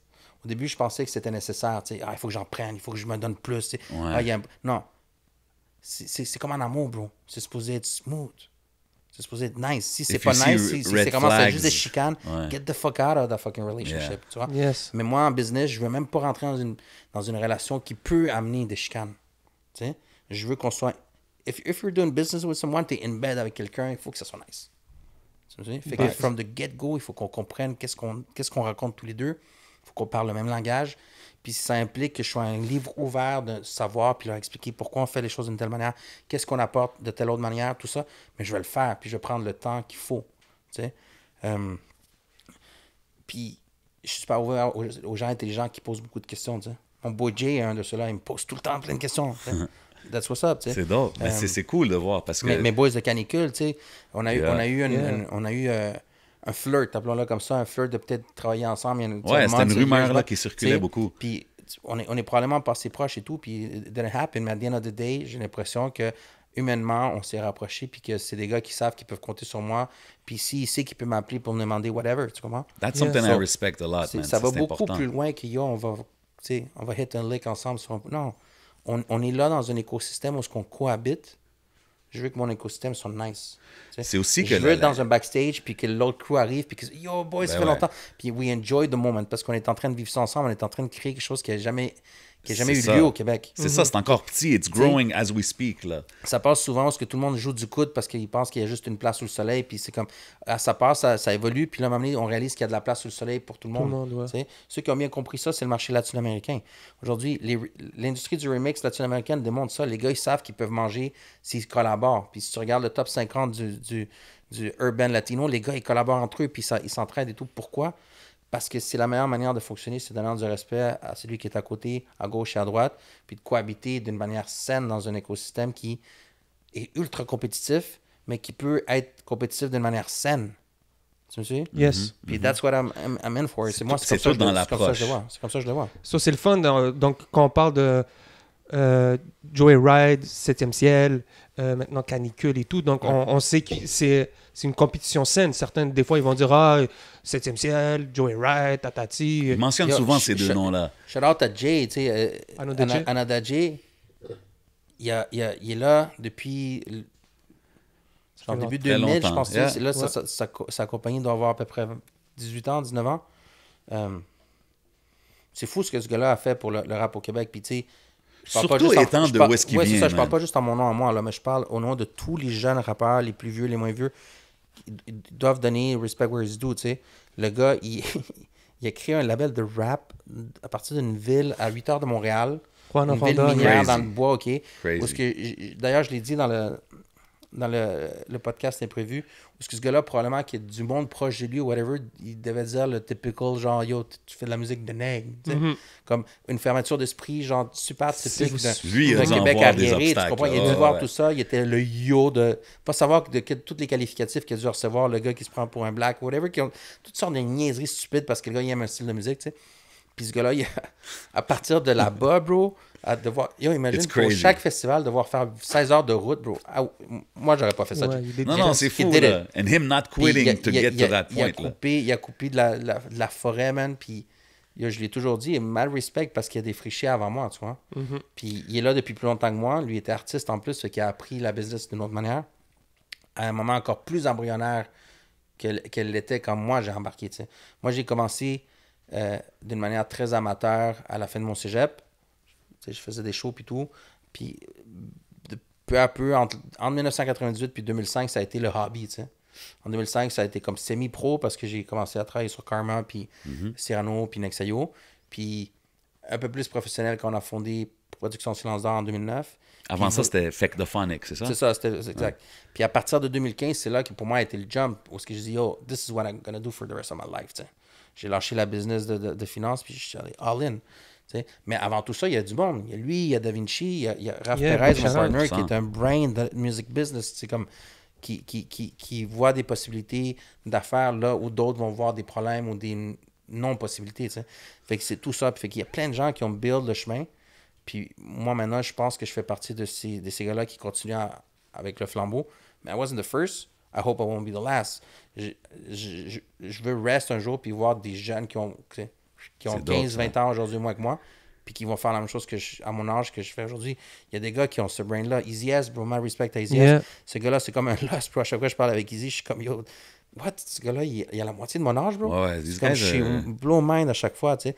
Euh, quand je parle à Beretta, man, l'intelligence de ce gars-là, la manière qu'il il- il a appris par lui-même à travers tu sais, beaucoup moins de temps que moi, puis je suis comme, yo, this Ouais. is amazing. C'est fou. Moi aussi, des fois, quand je vois les jeunes, je suis comme, they know so much more than we did at their age. tu sais, ça. c'est- c'est- Puis je peux bounce back des idées, puis des affaires que j'ai j'ai cru longtemps être comme rendu quasiment une certitude en musique business. J'en parle avec lui, puis je suis comme, oh, maybe there's another way, tu sais. C'est quand même fou, tu sais. Fait que tout ça, pour moi, pour moi c'est un, c'est un blessing de voir qu'aujourd'hui, il y a des, comme disait le gérant de- des qui, qui dit des choses comme ça. Mais I guess this, this is exactly what we need. Parce Yeah. qu'on est, on est un petit bastion, man. Un petit bastion de musique francophone dans une immense marée anglo-saxonne, puis que notre seul marché potentiel d'exportation véritable, c'est la France, qui est un exportateur de musique, qui est loin d'être un importateur. Ils n'en ont rien à foutre de ce qui vient d'ailleurs en français. Même, les, même les trucs belges ont eu de la misère à rentrer dans leur territoire. Mais ils ont réussi. Ils ont réussi, mais... Ils, sont juste à côté, faut dire, hein. Ils ont réussi, puis c'est les mêmes cinq depuis cinq ans. So, est-ce qu'ils ont réussi vraiment ou s'il y a eu cinq exceptions? Comme, we don't know yet. Ok. Le marché belge, Ok. c'est pas développé en France. Non, il y a eu cinq noms. Il y a, Dam, il y a, il y a Damso, il y a Hamza, Caballero et Jean-Jacques. tu sais. Euh, il- les gars, ils ont réussi à rentrer, oui, mais c'est des noms particuliers. C'est pas l'industrie du rap belge qui est soudainement devenu big en, en- en France, tu vois. So, bro, on a une possibilité d'exportation. Je pense que le meilleur moyen de réussir, c'est de se tenir à l'écoute puis montrer qu'on a une industrie forte ici. Puis l'industrie forte ici passe par la développer ensemble. Fait que tu penses. Fait que, fait que- j'avais une question pour toi. Est-ce que tu penses que le succès de l'industrie au Québec dépend d'être accepté dehors dans la francophonie ou c'est vraiment de build a self-sustainable business ici, genre? Tu penses-tu qu'on peut vraiment build ça au Québec avec la population qu'on a? On peut développer les talents, bro. On peut développer Ok. le saviness, on peut développer le knowledge. Ça, of course. Parce que du moment que tu commences à, à entrer dans un- une cour, c'est comme quand, tu sais, en sixième année, tu es le plus grand de la cour d'école, right? Un passe été passe, puis tu deviens le plus petit de la cour d'école. Ouais. En sixième, en sixième année, puis secondaire 1, tu étais le plus grand en juin, tu es Ouais. rendu le plus petit en août. Right? That's the same shit. Sauf si tu n'arrives pas prêt dans la cour d'école des grands, tu vas get your ass kicked, tu vois? Facts. Hey, there you go. Surtout si tu es dans un monde plus street. So, avant d'aspirer à aller jouer dans l'autre école, dans l'autre cours d'école, au moins, sois sûr que tu as, la tête sur les épaules, puis you're built for it. Tu comprends? Puis c'est ça qu'on a besoin. Le, le, le Québec, le rap québécois, puis on rentrera pas en discussion si on doit l'appeler comme ça ou pas, mais le rap qui se fait au Québec, bro, at the end of the day, c'est un incroyable incubateur de talent. Puis un, c'est un terrain de jeu malade parce que ça reste l'Occident où il y a des gens qui ont du fric, où ce que les gens peuvent consommer, où ce qu'il y a- des sociétés de gestion de droit, où est-ce qu'on a des outils, on a des subventions, on a plein de trucs. C'est un incubateur de talent puis un lieu parfait pour développer notre talent, développer notre savoir-faire, notre knowledge, notre savviness. Puis si ça pop, bro, mais essayez à l'extérieur. Et quand tu arrives là-bas, tu as déjà l'expérience de scène, tu as déjà l'expérience d'a- d'affaires, tu as 100%, déjà l'expérience de négociation. Tu sais, bro, arriver là, euh, comme une poule pas de tête dans un autre marché, you're gonna get fucking slaughter. Tu comprends? Mais tu penses pas que. Je parlais de ça tantôt avec 11. Comme moi, je pense que, exemple, maintenant, où est-ce qu'on est, tu sais, comme il y a eu Loud, il y a eu Rhymes, il y a eu ça. Mais comme White Bee, je pense que c'est comme un des. Comment je peux dire, le prototype presque parfait pour crossover l'autre bord. Je le pense aussi. Je le pense Ben oui. aussi. Québécois, Je blanc, aussi. but grew up in immigrant Je le pense aussi. situations. Je le pense aussi. Mais Street, uh, marketable. I think he's got a lot of the, the things Smart. he needs. Of Smart, you know what I mean? Of course, of course. Je le pense aussi. Puis l'idée, c'est arrêter de penser qu'on a peut-être raison ou pas. C'est juste, yo, you gotta test it. Yeah. OK? Sinon, ça s'appelle du daydreaming. Puis moi, je daydream pas, bro. OK. Moi, je me fais des plans, puis je suis pas comme assis sur mon bureau en secondaire 5. Ah, je vais être euh, joueur de hockey un jour, ou je vais être un grand. Ah ouais, un tu- bon you put your head Non, down non, and you work. Non, j'ai j'ai jamais des dreams, bro. I don't do that. Je, je me fais des plans, puis j'attaque là où ce que je pense qu'il y a une ouverture. Yeah, Ok. Puis il, est- il est bien entouré. euh, big shout out à Sharaf, qui est le, Le gérant. Sundon, salute. Gerard Sundon, c'est mon petit frère aussi, que c'est tous les jours. Puis euh, il y a une combinaison de knowledge, de, transmettre du savoir, transmettre tout ça, puis aussi donner du tough love. Parce que nobody will, pas- personne va nous le donner facilement. Mais c'est intéressant, tu sais, parce qu'on parle de, de la game au Québec, puis comment c'est structuré, puis tout. Puis, tu sais, même moi, back in the day, j'étais un qui était comme un peu par rapport aux subventions. Quand je voyais des artistes avoir des subventions, j'étais comme un peu sur le hate side. I was drinking haterade back then. I don't want to say, afraid to say it. Mais tu sais, aujourd'hui, j'étais un peu sur. Surtout quand je parle aux jeunes, tu sais, je leur explique, je dis, yo, bro, comme exemple, Carlos, he's like one of us. Tu comprends? He grew up in the game with us, puis il a figure out le système and he's working from inside. C'est-tu un peu comme ça que tu as approché ça? Parce que, je veux dire, Joyride, 7e ciel, c'est quand même deux labels qui, qui, qui bénéficient. Ben, vous êtes euh, Producteur, producteur reconnu. reconnu. Fait que c'est ça comme le, le ultimate goal? Ça devrait être- ça devrait-tu être ça, le ultimate goal d'un label, d'arriver à être producteur reconnu au Québec? Le, le but ultime de tout label, c'est de fonctionner, bro. Oui, OK. OK? Mais au Québec, pour fonctionner, ça l'aide quand tu es producteur reconnu, Bro, c'est pas juste le rap là, qui a besoin de ça, bro. Tu- on- le, le, premièrement, le Canada anglophone aussi est hautement subventionné. 100%. OK? It's, a, it's a Canada thing. Ouais. It's a Le- Canada le- thing. La musique francophone est hautement subventionnée pour une raison simple. On est une toute petite marée de francophones dans une immense, euh, un immense océan anglo- anglo-saxon, Mm-hmm. dans une industrie en plus qui bat de l'aile au niveau des entrées de revenus sur les masters. Parce que depuis qu'on a passé de vendre un CD 15$ ou 19,99$ à euh, get a, un quart de scène pour un stream, whatever. OK. Tout ça fait que si on veut être capable d'être créatif, si on veut être capable d'être compétitif, puis arrêter de se, de se dire, oh, on fait bien les choses pour le Québec. Fuck that, bro. Je veux pas bien faire les choses pour le Québec. Ah, tu veux le faire Je sur veux un faire les- bien les choses pour, le, pour, pour whoever fucking met ses yeux sur mes clips, entend ma musique ou whatever. Je veux être up to par avec les plus gros de ce, marché, de, de, ce, de, ce- de ce rap game mondial ou de ce music game mondial. Je suis pas en train de me comparer à whoever genre pop ici, là, comme, I don't give a shit de lui, là. OK. Comme, I'm about, OK, there's a number one spot, peut-être qu'en français, on pourra jamais l'avoir, mais I'm still fucking, genre, essayer de aim pour la tête à Drake, là. Tu comprends? Si j'ai pas cette mentalité-là, ça me sert à quoi d'essayer de faire ce que je fais, bro? OK? Puis les outils qu'on a, dont les subventions, nous permettent d'être comme ça. On dit pas c'est juste ça, but I mean, course it helps. C'est un Of bon course coup de pouce, right? Of, cour- ben, of course. Mais non. Puis tu sais quoi, je, je travaille tous les jours très fort d'entretenir des relations optimales, super square avec les gens qui nous confient des montants comme ça en sachant très bien qu'on donne les rendements pour. À the end of the day, pour nous, ça nous permet de faire des choses qui sont bien faites, des beaux clips, des beaux projets, de la bonne musique, puis de commencer peu à peu à espérer compétitionner avec l'autre marché principal auquel on veut s'attaquer, c'est la France. La France, bro, quand tu vois des chiffres comme euh, CH qui fait 12 millions de streams first day, bro, sur Spotify seulement, OK? Tu te dis, Ouais, yo, on est tellement loin de pouvoir avoir des chiffres comme ça ici. So how the fuck am I supposed to compete with this motherfucker si j'ai pas les moyens de faire des vidéoclips comme lui? How the fuck am I supposed to compete with this motherfucker si mes beat producers font encore des beats avec des Casio? Comment? Non. So, si, si, si il y a des gens assez brillants pour dire yo, notre culture ici a besoin d'un coup de pouce, puis on doit créer un système de filet social, comme le bien-être social pour une personne qui a de la misère à manger, mais les artistes ont besoin d'un coup de pouce pour pouvoir euh, faire des trucs up to par avec le reste de, de la musique Puis mondiale. export notre culture. Puis s'ils te demandent, OK, montre-moi que tu es capable de sustain un plan d'affaires, puis de bien faire les choses, puis donner des rendements. And if you do so, je vais te donner un, petit, un, petit- un morceau du biscuit. And in a year from now, si tu as fait encore mieux, ben, tu vas avoir un autre morceau du biscuit. Puis peu à peu, le biscuit devient plus gros et tout ça. Donc, je travaille extrêmement fort pour continuer à avoir ça. OK? 100%, 100%. Mais a- c'est- c'est pas quand tu arrives à être producteur reconnu que c'est fini, là, comme... Of course, non, bro. Premièrement, c'est quelque chose qui est renouvelable à chaque année. If I fuck up this year, ne- next year, they will dire comme yo, tes rendements sont whack. OK, Come, so- see, so- OK. come and see me next year. So, so in this situation, right, disons un, un, un label établi comme Joyride, Mm-hmm. that something happens, un bad trip, whatever, that you lose the subs. Do you think you can still sustain Joyride comme qu'il est aujourd'hui? Je l'ai fait pendant 9 ans avant de devenir producteur reconnu. Of course que je vais m'adapter puis faire les, les choses. Ouais, à- mais là, on parle de, de Mais- Stade Saputo, hélicoptère et des gros shit qui se Of course, passent, là, sauf ces que ce que les gens ne comprennent pas aussi, c'est que, yo, bro, subvention, c'est pas, un- pas un chèque en blanc, là. Non, 100%. Ok, c'est yo, ben, yo, yo, faisons des affaires, toi et moi, Puis faisons, faisons My business, pleasure. ok? Puis je te dis, yo, pour chaque 50 sous que tu mets, je te donne 50 sous. Mm-hmm. Good? Mais you gotta put those 50 cents in, though. Absolutely. Non, non, non, je dis pas, je dis pas, euh, je parle pas des subventions en- comme si c'était un free ride, là. Non, c'est ça, mais c'est ça que les gens comprennent pas.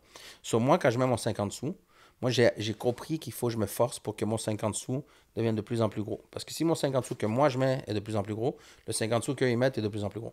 And that's what I, I do good. C'est pour ça que 7 ciel aussi fonctionne, parce que c'est pas comme si on pouvait produire 100% de ce qu'on fait avec la subvention. Non. Ils nous donnent 50% de ce que, de- du total coûtant. Mais best believe que ma moitié, là, ce que out of pocket money, c'est plus gros que tous ces gars qui parlent puis qui vont hate sur un processus Facts. qui est accessible à tout le monde. Big facts. C'est pas comme si c'était. Ils, ils ont, ils ils ont regardé, yo, Carlos Sonia, c'est ski, chill, ce gars-là, on va lui donner du cash. Non, ils ont dit, yo, motherfucker, you've been working hard. Travailler, yeah. Ok, montre-moi tes preuves. Une année, deux ans, j'ai passé devant le jury, on s'est fait refuser un paquet de projets entre 2009 et 2015. Beaucoup de monde disent que ça prend 2, 3, Bro, 4 refusals On avant s'est de fait t'arriver refuser à- plein de fois, bro. Puis pour des projets que j'étais comme, yo, voir qu'ils refusent ça, puis ils donnent à ça. Of course, j'ai vécu ces frustrations-là. Moment donné, je dis, yo, stop fucking. Genre, penser à toute cette bullshit, puis concentre-toi sur ce que tu peux contrôler. And that's all I do. At what moment was that? Yo, la deuxième fois qu'ils ont refusé un projet de Rhymes, OK, alors que le panin vendait des mixtapes à la tonne sur la, la boutique HHQC, j'ai fait 10 motherfuckers, they don't know. OK? Ça, je peux pas dépendre sur eux. J'ai mis un X sur I must still try, mais non, non, il faut que je pense le Tu vas shit pas juste te autrement. baser Il là-dessus. faut que je pense le shit autrement. Il faut qu'on soit, on soit capable de sustain tout seul. OK? Puis on a commencé à build notre truc, puis à penser intelligemment, puis à penser en termes de projet. C'est- Ce serait une autre discussion qu'on pourrait avoir très longue, mais moi, je pense pas en termes d'un album, je pense en termes d'un projet. OK? Et quand j'ai mis ce, ce modèle d'affaires-là sur la table, c'est là que j'ai commencé à rentabiliser mes trucs. Et ça m'a permis d'avoir un 50 sous. Que quand que l'autre allait me dire, yo, je te donne 50 sous, que ce 50 sous-là, c'est gros. OK? OK. So, j'invite tous les jeunes qui hate sur le processus à comprendre une chose. C'est que tant qu'ils vont hate, je vais- ils vont continuer à regarder mon dos. Puis tu vas continuer à OK? stack up les 50 Puis sous. moi, ça ne me dérange pas qu'ils soient à côté de moi. Ben, c'est ça. Et je les invite à comprendre pourquoi ils regardent mon dos en ce moment. Ben, ma question. Je ma les invite à comprendre qu'il y a moyen de marcher à, à côté de nous. Parce que c'est ouvert à tout le monde. Il y a eu I am not blocking them. Non, but exactly. But that's why. C'est pour ça que je trouve que c'est important d'amener des sujets comme ça avec des gars comme toi parce que you know the game and you know it from both sides. Um, Est-ce que tu trouves qu'il n'y a pas assez de jeunes qui, qui, qui essayent d'aller ce, ce chemin-là ou qui ne savent pas, qui ont ces, que, Je pense ces qu'il y a quelque chose de, ressources-là? je pense qu'il y a quelque chose de très badass de dire yo, Ouais. j'ai pas besoin de subvention, G. Me, me, me, me, me, I do this shit avec mon hustle money. Mais il y en a qui vont dire Il y a- il y aussi a côté que. badass à ça, tu comprends? Fait qu'il y en a qui 100%. vont brag sur ça, correct. Ben moi, je donne beaucoup de crédit aussi aux artistes street qui ont aucune subvention puis aucun, disons, look euh, comme ça, Moi aussi, je qui leur donne. réussissent à frapper des gros numbers. Je leur donne le props aussi, Of là, course, quand of même. course. Moi, avant d'avoir une subvention cohérente, là, j'avais déjà vendu 75 000 albums. Pop your collar, baby. OK? Puis c'est là qu'ils ont dit, yo, tu sais quoi, t'as donné tes rendements, on va te donner une production reconnue. Dope. Mais euh, il a fallu que je vende 75 000 albums sans subvention. Non, mais c'est ça, OK? parce qu'il faut là, que le monde on catch parle des albums, là, des idées, là. Non, non, mais c'est parce qu'il faut que le monde. La raison que je te parle de ça, producteur reconnu, tout ça, c'est parce que je sais qu'il y a du monde coming up in the game and they want to learn, but they don't know. They don't even know c'est quoi les steps. Est-ce que c'est ça que je devrais viser? Est-ce que c'est si. Si tu dis just do good music, ben, put up numbers à la fin, right? Mais aussi, ils vont dire euh, si tu veux des subventions, ah, ok. Il y en a qui voient le succès qui passe par les subventions. puis Après ça, ils vont dire ah, euh, pour avoir ça, il va falloir que je fasse un produit qui est un peu comme euh, filtré, comme dire. Il y a ça euh, aussi, le content. que- Il y a eu l'histoire, par exemple, de Manu Militari quand il a fait le clip euh, sur euh, L'attente. Il s'est Ouais. fait, ret- il s'est fait retirer ses trucs. Ouais. Puis après ça, tu sais, il y a eu beaucoup de critiques euh, quand il y a eu la publicité des masques. tu sais, Quand il- on a vu Loud faire la publicité. euh, quand- Ça, n'a rien à voir avec les subventions, mais ouais, je te suis. ben c'est c'est ça, ben si tu peux un peu nous expliquer, ça n'a rien à voir avec les subventions, tout ça. Mais non, du, du tout. I mean, si, l'association s'est faite parce que c'est de l'argent gouvernemental, c'est vraiment un stretch. Là. Je veux dire, subvention, c'est des entités qui ont été créées pour support la culture, qui évidemment provient de fonds privés et publics, donc il y a une partie fonds publics, mais François Legault, il n'est pas en train de regarder à qui on donne une subvention. Là, ok? On a vécu une crise sanitaire, ça a été super... euh, euh, ça a divisé le Québec, ça a divisé la planète. Correct, ça va continuer à l'être. On, on est des- on- L'être humain, par, par, par définition, va toujours trouver un yin à son yang. Ok? Donc, pour chaque personne qui est pro-masque, il va y avoir une personne qui est anti-masque. Correct. Donc, c'est- c'est- au niveau de ce qu'on pense comme être humain sur la situation de la crise sanitaire, c'est une chose. Puis évidemment que l'État, dans une société de une société comme le, le Québec, où ce que euh, c'est une espèce d'État-providence, c'est drôle comment les gens oublient, dès que le gouvernement est impliqué dans quelque chose, comment des fois le, le gouvernement leur donne ce qu'ils aiment bien recevoir quand que ils ferment les yeux sur ce qui les dérange. tu sais. Fait que, you, you can't be given all the time. Tu peux pas avoir le bar puis l'argent du bar tout le temps. ok? That's, that's c'est- truth. euh, moi, j'ai entendu Fidel Castro dire à Cuba, même nos prostituées sont médecins. Sais pourquoi je dis ça? Parce que c'est un État qui a donné un paquet de trucs. Sur, ils ont misé sur l'éducation, ils ont misé sur plein de choses qui sont super importantes en termes de droits fondamentaux, right? Yes. Bon, mais ils ont fait des erreurs. L'État-providence, comme le Canada, c'est qu'on a un système de santé gratuit, qui est merdique aujourd'hui. On doit l'admettre Facts. mais il est merdique pour des raisons qui sont souvent administratives et tout. Puis pas tout ce qui est bien pensé au départ finit par, on the long run, de toujours être bon jusqu'à la fin. En ce moment, le système de santé est merdique. Mais guess what? Il est gratuit, bro. Si j'étais aux States, là, tu pognes une fucking pneumonie, bro, tu, peux, tu peux devoir vendre ta maison. Pour le monde ne réalise pas ces côtés-là. Bon, fait que tu sais, il y a beaucoup de gens qui sont, sont prêts à tirer sur. Puis je suis pas en train de dire qu'ils ont tort. Moi, au fil de l'année, ma position sur la question de la crise sanitaire, elle a évolué. En mars dernier, j'avais aucune idée c'était quoi une crise sanitaire. Là. Du haut de mes 39 ans, j'avais jamais vécu ça. Je pensais jamais pouvoir de- devoir m'asseoir un jour puis réfléchir sur, sur des questions où ce que euh, j'ai vécu de la dictature au Chili, où ce que tu sortais dans la rue, tu pouvais mourir, puis qu'aujourd'hui au Québec, il y a des gens qui comparent ça à une dictature. Au début, ma réaction, c'était comme yo, c'est dommage fucked up de dire ça. Mais à la longue, est-ce que je, je me dis, ok, est-ce que même si c'est pas équivalent de se faire tirer en pleine site comme au Chili, est-ce que ça ressemble à, des- à- à- à une forme de totalitarisme, ça? Il y a une évolution dans ma pensée. Mais je suis pas de ceux qui, du jour au lendemain, va commander tac. ok? Puis la, la question, la question du masque, si, si ta question à savoir si on a pris position, whatever, Of course. Dans, dans, dans, dans, dans le cas de Simon, dans le cas de l'autre, puis dans mon cas, on a réfléchi, puis c'était pas quelque chose qui, à ce moment-là, nous dérangeait. Tu me sais? On a pris la décision, puis je pense que...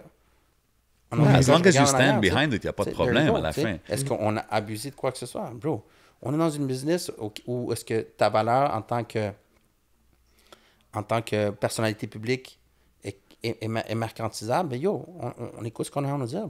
C'est vrai. OK. Puis la plupart des gens qui critiquent ce genre de choses-là, ils se seraient assis avec ce genre de proposition eux, puis ils auraient Ils tous l'auraient au moins accepté. réfléchi. Ouais. 100%. That's it. So, let the people talk, puis at the end of the day, mais si jamais ils aimaient l'autre puis ils l'aiment plus maintenant, mais soit. That's it. OK, moi, je stand derrière mes convictions. Puis, I I, I, gotta say, moi, je porte mon masque quand je serai en public. Il y en a qui vont me traiter tous les noms. Traitez-moi de nom. That's it. I, truly believe qu'on a tous une part à faire là-dedans. Puis qu'on, la, la part à faire, c'est aussi de continuer à songer sur ce qu'on nous impose. Puis pas tout le temps avaler ça comme un mouton. OK? Il y a des choses qui sont importantes à un moment X dans le temps, qui peuvent évoluer puis changer. C'est aussi simple que ça. On a pris une décision, puis ça n'a rien à voir avec les subventions. Subventions, puis se faire offrir euh, d'être un, un- un représentant public pour une cause qui, nous, à ce moment-là, nous tenait à cœur. Je ne dis pas qu'elle n'est plus en ce moment, mais à ce moment-là, nous tenait à cœur. Euh, on a pris la décision, puis... Vous vivez bien avec? Ouais, as long as you stand by il n'y a pas de problème. Of course, of course. Um, Puis dommage s'il y a s'il y a des gens qui sont, ça les a offensés. Comme moi, leur décision, eux, m'offensent pas. S'ils veulent, ils, ils veulent vivre une vie sans masque, mais qu'ils la vivent. Fair enough, man. I don't Um, think it's the right way to go about this shit. Mais voilà, moi, je suis Ah pas ouais, en train chacun- de juger les autres. Là. Non, I don't give a shit. Um, tu sais, on parle de subventions puis tout ça. Moi, je suis, je suis un gros advocate pour les, en tout cas, j'essaie là, pour les artistes anglo au Québec. Je sais que tu as David Lee, si je me trompe pas. Yeah. Um, Est-ce que c'est un challenge, comme avoir des subventions pour un artiste anglophone au Québec? Comme moi, je, moi, je dis tout le temps ça, tu sais, puis des fois, il y a du monde qui me dit, ben non, tel en a eu, tel en a eu. Fait est-ce que c'est un mythe ou c'est comme, it is harder?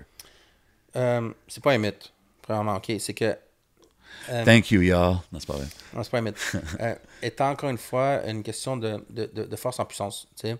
Euh, musique Action, je, puis je veux pas rentrer dans un cours sur les subventions, mais comme Musique Action est le penchant francophone des subventions à la culture à la production d'albums. ok?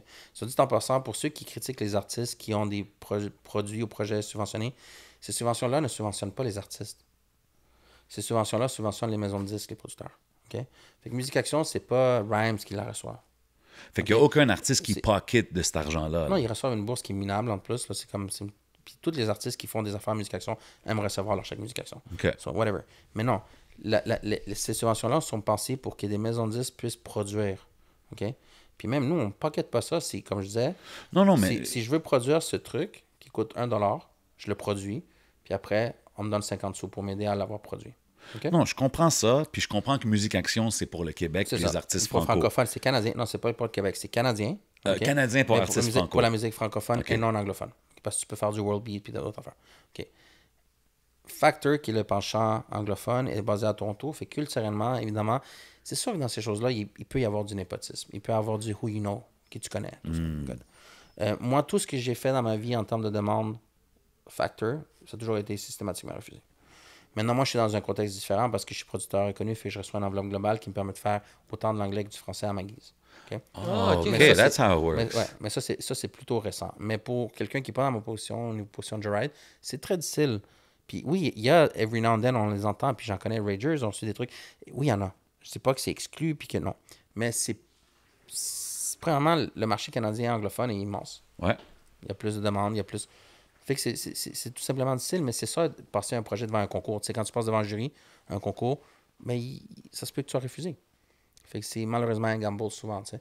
Mais à the end of the day, ce qu'il faut inculquer comme perspective d'avenir pour un artiste ou un jeune label ou whatever, c'est d'apprendre à faire sans et se dire que si on l'obtient, soit qu'on fait mieux ou qu'on subit un moins grand, un- on, on s'expose à un plus petit risque. Good approach. Moi, j'ai toujours été de ceux qui, si jamais je reçois, je grossis le projet.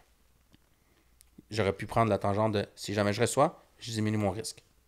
J'ai toujours été de ceux qui grossissent le projet. c'est dope. Mais j'ai appris à faire sans. Puis c'est ça la belle attitude que tous les jeunes qui savent faire sans subvention, good. Parce que si un jour vient qu'ils reçoivent ça, ils vont avoir le choix. Soit limiter leur risque, soit grossir le projet. Ils prendront le, le chemin qu'ils voudront. Mais dans les deux cas, il n'y a personne qui va cracher sur Quelqu'un non, qui va venir 100%. cut le 50, 50% de ton projet. Non, non, those are real gems là, que tu es en train de drop. euh. Ça serait quoi? Est-ce que c'est plus difficile de percer dans un marché anglophone ou bien peut-être un marché euh, espagnol comme avec Cru- Cruzito? Ça doit avoir quand même euh, ses défis. Bro, Huge challenge. ça. Bro, Ça, tu sais, c'est un- euh, je pense pas que je me serais lancé dans, Cette dans- aventure? ouais, dans cette, cette aventure, dans cette nouvelle entreprise carrément qui a décidé d'explorer le marché latino-américain, qui est le plus gros au monde en, ce- en passant en ce moment. Euh, si j'avais pas eu la chance de travailler avec un artiste comme Cruz, euh, qui non seulement vient avec un background artistique super étoffé, mais qui en plus a une incroyable tête sur les épaules, un bon être humain, un vrai penseur, puis qui a des fans. Je veux dire, euh, Crucito, pour ceux qui connaissent pas l'histoire, qui a été signé avec Pina Records, Daddy Yankee et tout ça. Ce gars-là, il a performé devant 30 000 personnes au stade à Porto Rico. Ah, I didn't know that. So, non, il y a des. il y a- Cruz euh, est sur des chansons qui c'est des gros classiques du reggaeton. Oh, really? Immense, là. OK? OK, putting me on. Ah ouais. Donc, étrangement, Crucito et moi, on s'est rencontrés par, euh, à travers mon cousin au Chili. Imagine, Crucito et moi, on a grandi à 10 coins de rue de différence. Moi, Villeray et lui, Saint-Michel. On s'est jamais rencontrés. Puis mon cause, qui fait pretty much la même job que moi au Chili, il, a comment, il bouquait depuis 2015. Puis il me disait Yo, pourquoi, pourquoi tu travailles pas à Crucito, le gars de Montréal? Je suis comme I don't know who it is. Moi, la musique latine, ça m'a pris beaucoup de temps avant d'embarquer Wow. I'm a rap head. OK? So, j'étais pas dans le reggaeton. Puis, Moi, puis ton euh, cause, l'autre bord, il y a un petit label. Il il il, fait du booking puis du management. D'ailleurs, shout out à son artiste, c'est le Futuro Fuera de Orbita qui est en train de pop comme un malade. Salute. Mais- parce que les Munoz, on est comme ça, on est des. En tout cas, whatever. Tout ça pour dire que Ah, mon bon, il arrêtait pas de me parler de, de Crucito. Puis là, lui, il parlait à Crucito Yo, tu devrais connecter avec mon cause. That's funny. Puis Cruz, c'était comme, c'est qui ton dit, Yo, c'est c'est comme un des gros euh, labels de rap. Puis son, son artiste fait des stades. Puis Crucito, était comme des stades? Il y a personne qui fait des stades. De quoi tu parles? Puis il dit, non, là où est-ce que vous jouez au hockey? Tu sais, Au Chili, on joue pas au hockey. Il Ouais. dit, là où vous jouez au hockey, il dit quoi Au Centre Bell? Ouais, au Centre Bell. Hein? C'est qui l'artiste? Il s'appelle Loud. Ah, ouais. Il est comme, yo, tu sais Cruz, pas de c'était quoi tu comme, parles. Yo, Loud? Loud Ouais, ouais, Loud, Loud. Yo, Loud, c'est ton cause. T'es comme, ouais, fait que là, il nous a mis en contact. Puis on, a, on est venu à se rencontrer à travers mon cause. Pour la petite histoire, c'est vraiment That's fun fact, crazy, ça. pareil, man. Mais bref, la raison pour laquelle j'ai décidé de me lancer là-dedans, c'est que je commençais. Depuis 2017-ish, j'ai commencé à apprécier plus le urban latino parce qu'ils sont venus up to par beat-wise avec le le Yeah. beat américain. OK? I The- mean, the reggaeton le reggaeton des, drum 2000 des années là, 2000, à un là, j'étais pas capable. Pour moi, je venais du, je venais du Primo puis du Dr. Dre, tu comprends? Ça faisait pas de sens. Des, des sons de Casio, man, comme si c'était fait avec un ordinateur d'un enfant de 6 ans. Là.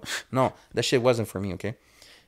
mais ça évolue puis ça a vraiment improve puis c'est devenu tu sais comme up to par avec ce que moi j'aime côté beat j'ai commencé à apprécier tout ça est arrivé au même moment que mon coach nous a mis en contact avec Cruz et moi blablabla.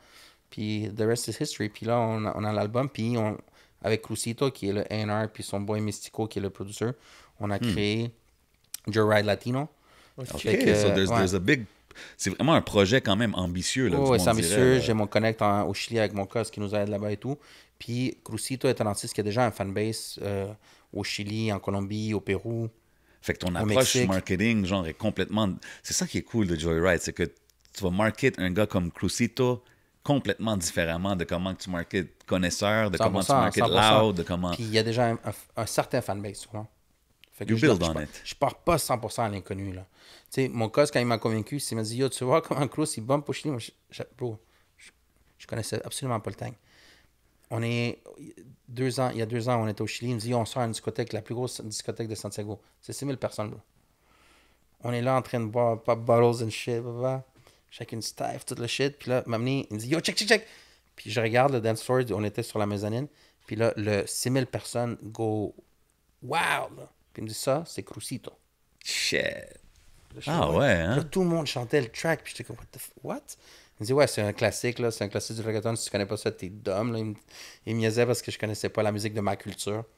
Puis que c'est que- un gars d'MTL. Ouais, c'est ça. Fait que That's comme, what? Il me dit, bro, c'est ça le gars que je veux que tu connectes avec, là. Comme, stop sleeping on this motherfucker, tu sais. Ça vaut, ça la peine. Puis pour elle, la, la question pécuniaire ou dire, ah, we can make dough, whatever, je m'en foutais. Je voulais voir c'était qui l'être humain, tu sais. Puis ce qui, est, ce qui est spécial pour moi de travailler avec cet artiste-là, c'est que euh, j'ai beau être latino-américain, ma langue maternelle c'est espagnol et tout. Ici, j'ai toujours été un rap head. tu sais. Puis j'ai pas beaucoup flirté avec la communauté latine. tu sais. Fait que c'est pas comme si j'étais imprégné par tout ce qui se fait de plus latino à Montréal. Ça serait un mensonge. Je suis pas dans ce cercle-là du tout. Puis pour moi, c'est important d'avoir des affinités culturelles. Puis pour moi, Crucito, il est comme moi. C'est un latino-américain qui est arrivé ici, il est né dans son pays, il est né en Honduras, il est arrivé ici, il a appris le français, puis il est très intégré ici. tu. Fait qu'on est des latino-américains de Montréal. Puis ça, culturellement, on se rejoint. Fait que c'est grâce à tous ces aspects-là que j'en suis venu à dire, yo, je suis financièrement mieux que jamais. J'ai mon team, j'ai de l'appui là-bas, j'ai un artiste qui est un incroyable artiste, un incroyable être humain, puis qui a un fanbase et tout. Let's try it. On va s'essayer. Puis je dis, puis en plus, ben, je te donne la, la tâche d'être A&R avec Mystico. Puis on a trouvé des nouveaux artistes, on va annoncer ça bientôt.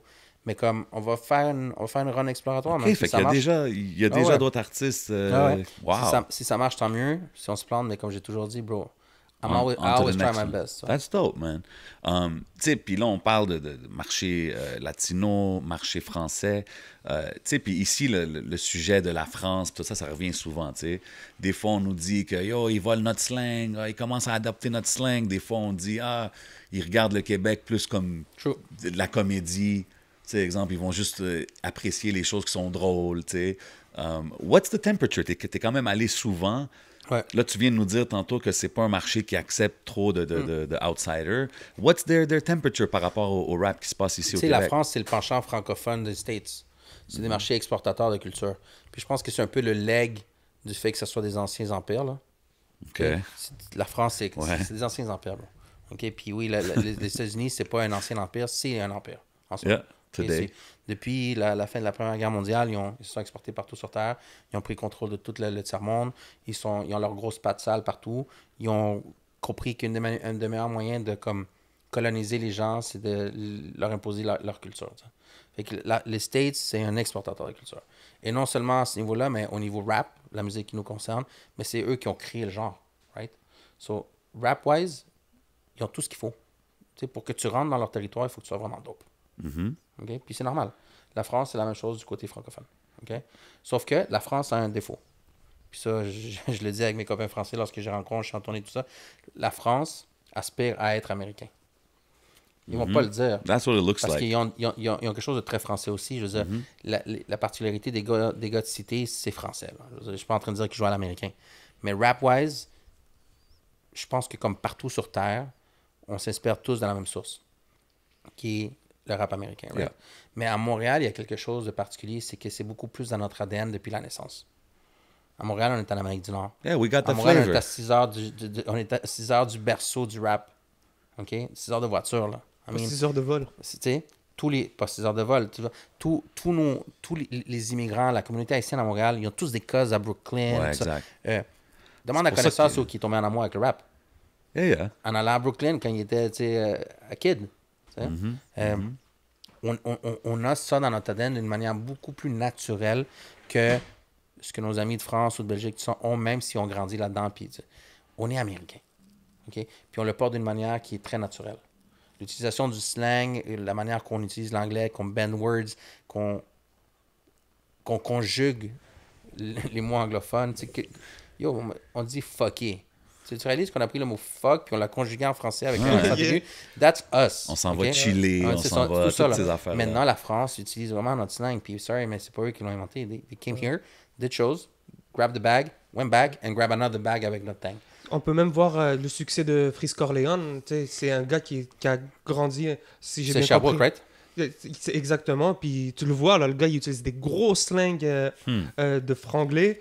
Puis tu le vois depuis ce temps-là, euh, il y a beaucoup, beaucoup. Ça, avec quoi? J'ai absolument aucun problème. Actually, ça me rend fier. Par contre, je veux qu'on soit capable de, de collecter aussi un bag à, à travers ça. Facts. Qui, qui, qui, qui s'inspire de ce qu'on a amené sur la table.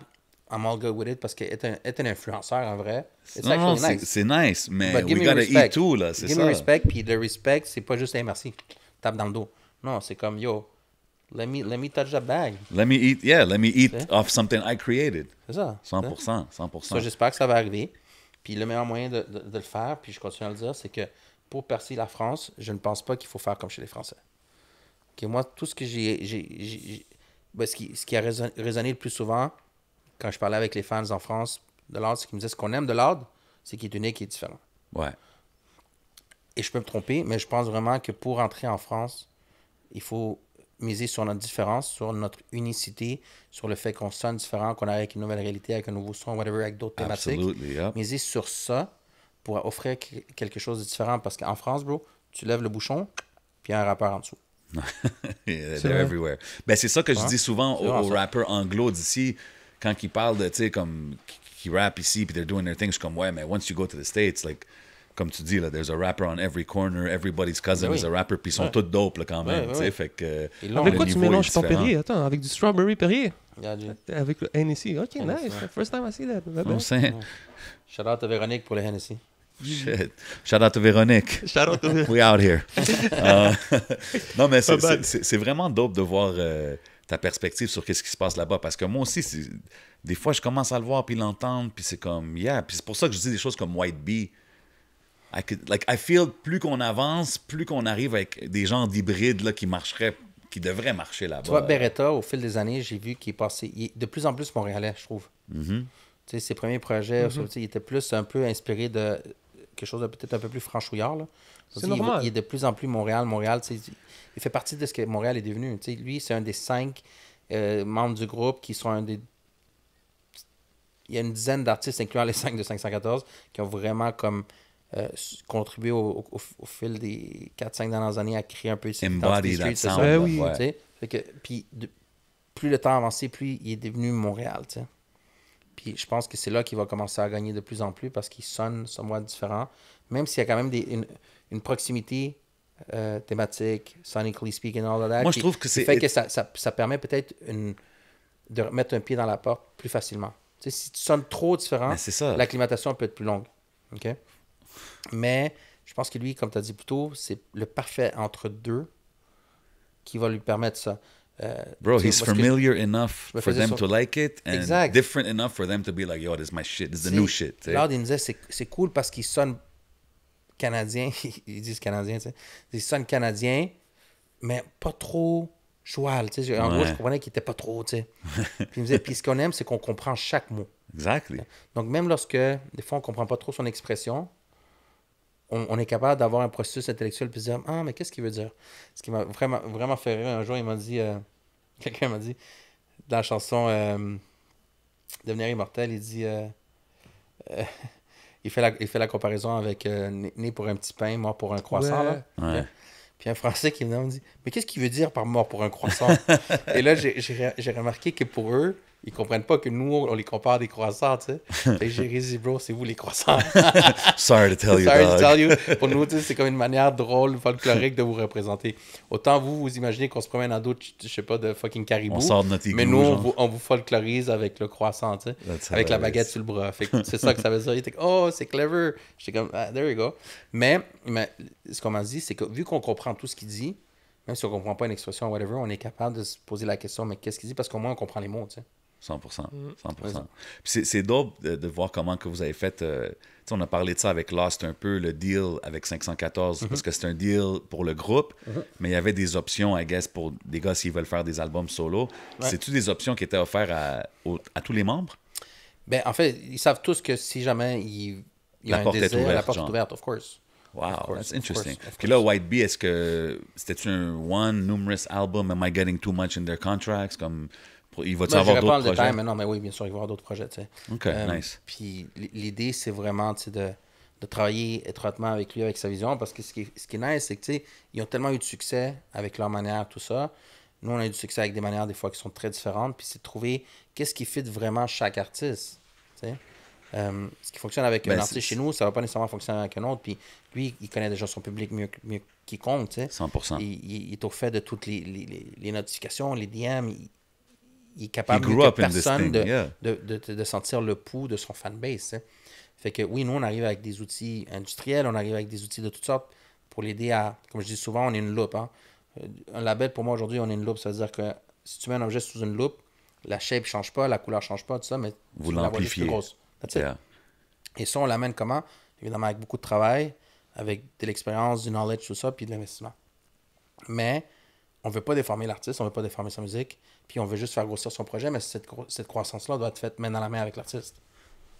C'est intéressant, White ça. Bee, c'est vraiment le fun parce que c'est le premier. Tu sais, contrairement par exemple à Ticazo. Ticazo, évidemment, c'était une légende connue, mais quand on a commencé son projet, c'était comme un nouvel artiste. Ses réseaux sociaux étaient totalement dormants. Son Spotify, c'est même pas lui qui avait le contrôle de ça. Comme, c'est comme un new artist, right? Shout out So, Tikazo. Il fallait qu'on fasse une différence, mais la différence, elle est facilement visible parce qu'il partait de zéro. Tu sais? Donc, dès que tu, tu- tu fais des efforts, ben, la croissance, elle est, elle est Ouais, immense. mais c'est ça que je La trouve. même chose pour Impost, même s'il avait sorti des albums, ça faisait tellement longtemps qu'il n'avait pas fait quelque chose en français. Tout ça.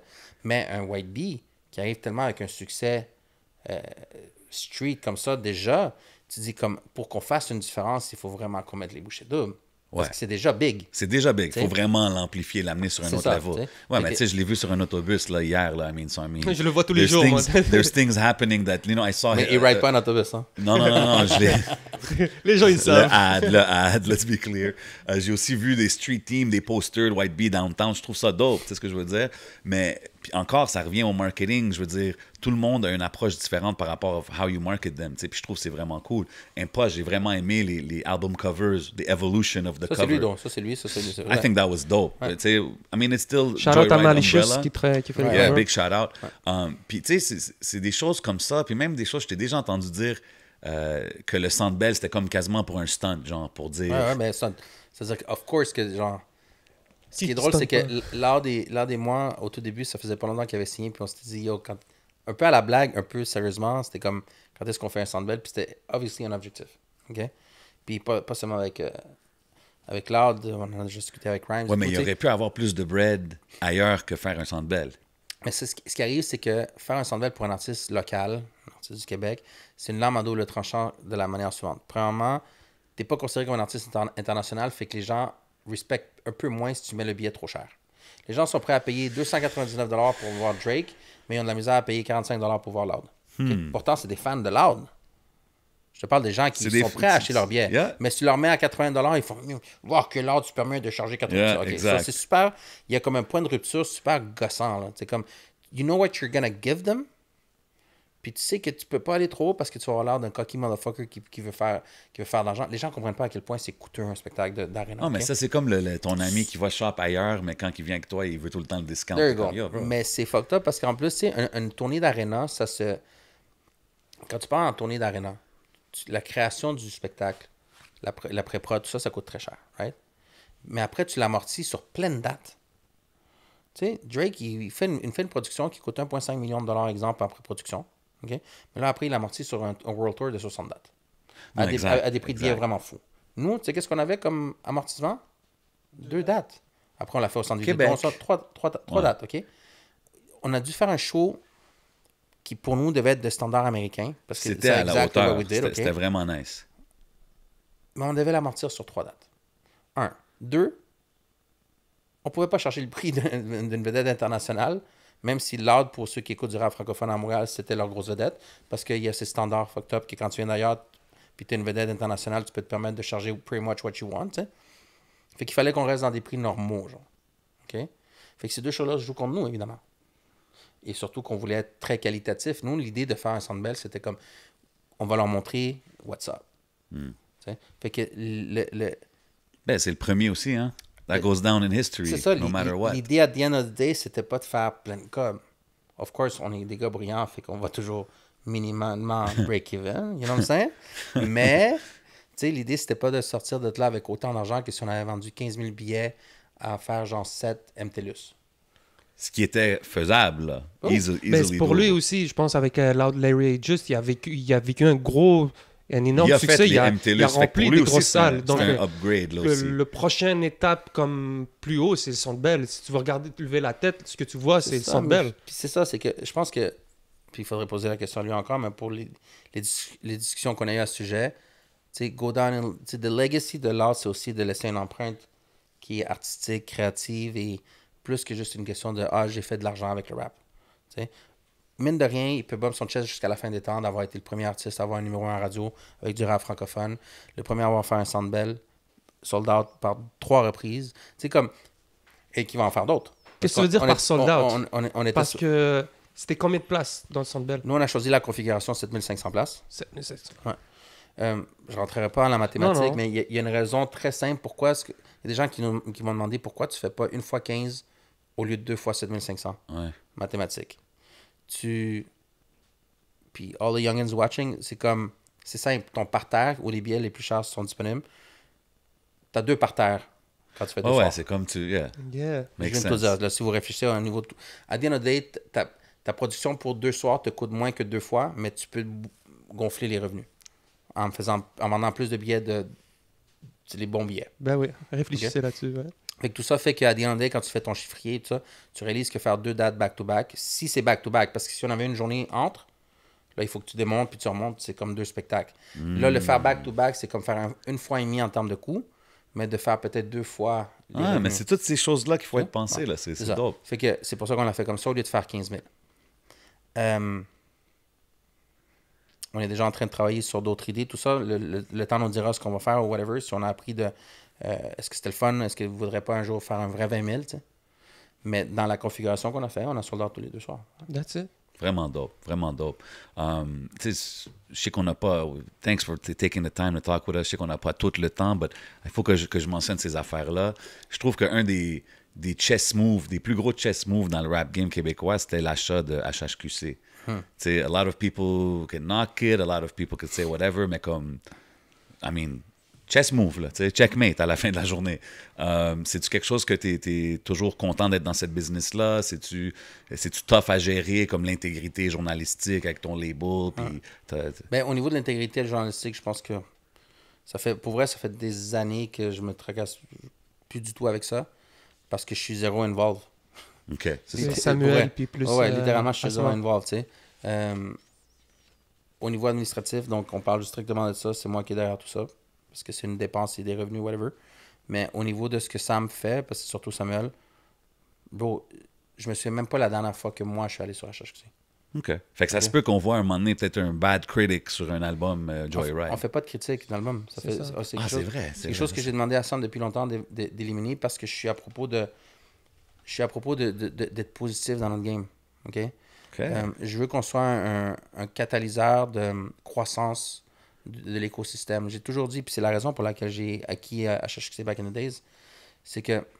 Puis re- retiens bien cette, cette phrase que I came up with this shit years ago and I'm proud of this fucking sentence.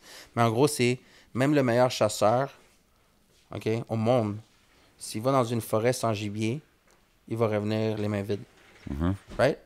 So, quand j'ai acheté HHQC back in the days, l'idée c'était de contribuer à la croissance de notre marché. Je veux plus de consommateurs, je veux plus de gens qui aiment le rap. J'aime plus de gens qui peuvent streamer autant mes produits que ceux de Steve, que ceux de Canicule, que Puis ceux ça l'a d'Aliment, con- OK? contribué à ça. Of course, il faut contribuer à ça.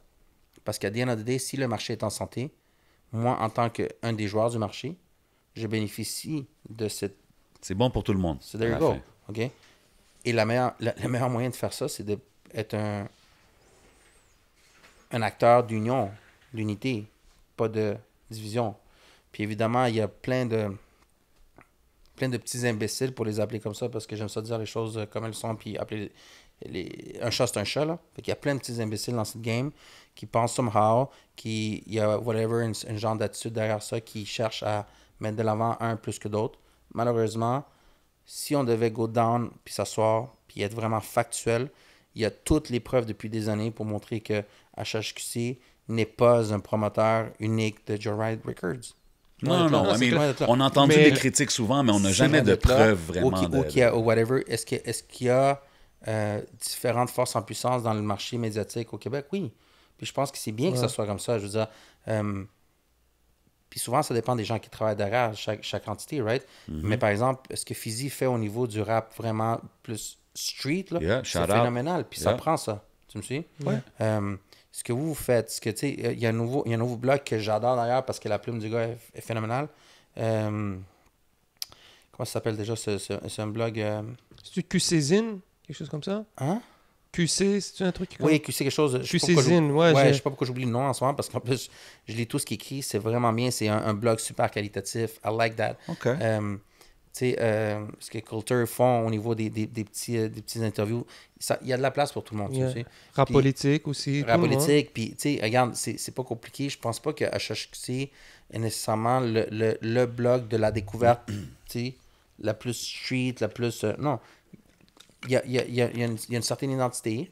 Puis voilà, tu sais. Ça Mais- devient comme le general qui couvre un peu de tout. Genre de, de ce que je vois, c'est un peu ça. Là. At the end of the day, moi, si j'aime pas un certain journal, tu sais ce que je fais? Je le lis pas. Donc, Euh, bye, that's it. Tu sais, so, euh, Ah, moi, il fallait juste que je le dise. C'est un gros correct, chess move. puis And I like moi, the tu m'ouvres la porte pour dire à tous ceux qui arrêtent pas de genre Mhm. talk shit puis se faire des scénarios, whatever. Good for them and waste time on myself. Ben, Continuez à parler mon nom, genre comme Ouais. I don't give a shit. Merci, merci pour le free promo and le free hate. I love it. So, at the end of the Après day, ça, tout le monde est content de se retrouver sur un article de HHQC. Les gens ça, peuvent c'est que dire, les mêmes euh, qui vont dire ça would, are happy when the dire, HHQC la- mentions les réseaux sociaux, si je ne me trompe pas, sont super en santé. Euh, les visites sont, sont, sont nice. Euh, on est on cherche pas pour de la promo. Il n'y a, a aucun moyen que tu vas dire, moi, je vais te payer pour avoir un article. That's not gonna happen. Euh, I don't- moi, je supporte pas ça. Samuel se le fait offrir tout le temps. Il m'en fait peur. Il me dit, yo, il y a un tel qui... Je dis, non. On va te vendre une pub, un placement publicitaire, oui. Yeah. Mais I'm not gonna fake an article. Tu sais, je vais pas écrire un papier sur toi ou non. That's why I told a long time ago à Samuel, on fait plus de critiques. Yeah. Nous, on est It forme. becomes a touchy, slippery. On est forme de la présence d'un projet. ok? Mais c'est votre modèle, tu sais, par exemple, euh, il y en a, il faut pas, tu sais, par exemple, euh, je vais pas le nommer, mais il y a un concurrent très proche de, de HHQC qui charge pour de la promo, qui fait ses articles. Tu sais, eux, ils ont pas, ils ont peut-être pas le luxe aussi d'avoir un label derrière qui les permet de, de, de, les pousser Ah ou whatever. ça, puis puis je critique pas ceux qui le font comme ça. mais Moi, c'est juste pas mon, mon modèle d'affaires. Puis j'ai jamais vu HHQC comme une vache à lait. HHQC, pour moi, c'est né pratiquement qu'une dépense. OK? OK. La raison pour laquelle HHQC a été acquis depuis le début, puis je l'ai déjà dit dans d'autres podcasts et tout, puis je vais continuer à le dire, c'est que je veux vraiment que le marché dans lequel mon, mon vrai bread and butter, qui est Joe Ride, Silence d'or à l'époque, je veux que cette business-là ait accès à un marché en santé. Puis si je peux contribuer de cette manière-là, I'm gonna do it, même si ça contribue aux autres aussi. Yeah. Ou pas. S'il y en a qui pensent que c'est une merde, mais sorry guys, I try to do my best. That's it. Ben, il faut pas. Moi, des fois, j'étais comme ah, ben, il y a une nouvelle à propos d'un artiste de Joey Ride qui va sortir directement sur HHQC. Ils ont le, tu sais, ils sont dans les mêmes bureaux, donc c'est. Mais au final, c'est it's part of it. Ouais, Tu mais bro, tu penses-tu que si genre, on annonce un Sandbell de, de, de Loud, ça, serait, ça devrait pas être sur HHQC? La face, c'est que les artistes ça. fonctionnent. That's it. Puis il y a une équipe professionnelle qui travaille du côté de Joe Ride qui envoie les communiqués. Hey qui- bro, you set up, t'as- set up un, un ouais. bon business model. Puis à la fin, que- it's a blueprint you're creating, bro. People could do it for themselves. Il y a Exactement. d'autres sites, il y a d'autres choses. On People apprend, could on follow regarde, the exact. example. Moi, c'est juste ça, que- c'est comme ça que je le vois. Si le blog était juste, on parle tout le temps constamment de des artistes Joe Ride puis pas des autres, ça serait vraiment discutable. Non, là, ça serait un argument valable, mais pour de si on vrai, était vous à couvrez tout. 50cent.com, tu sais, qui quand même, This is vraiment, 50, qui- ouais. tu sais, tout ce que 50 est tellement praise, tu sais,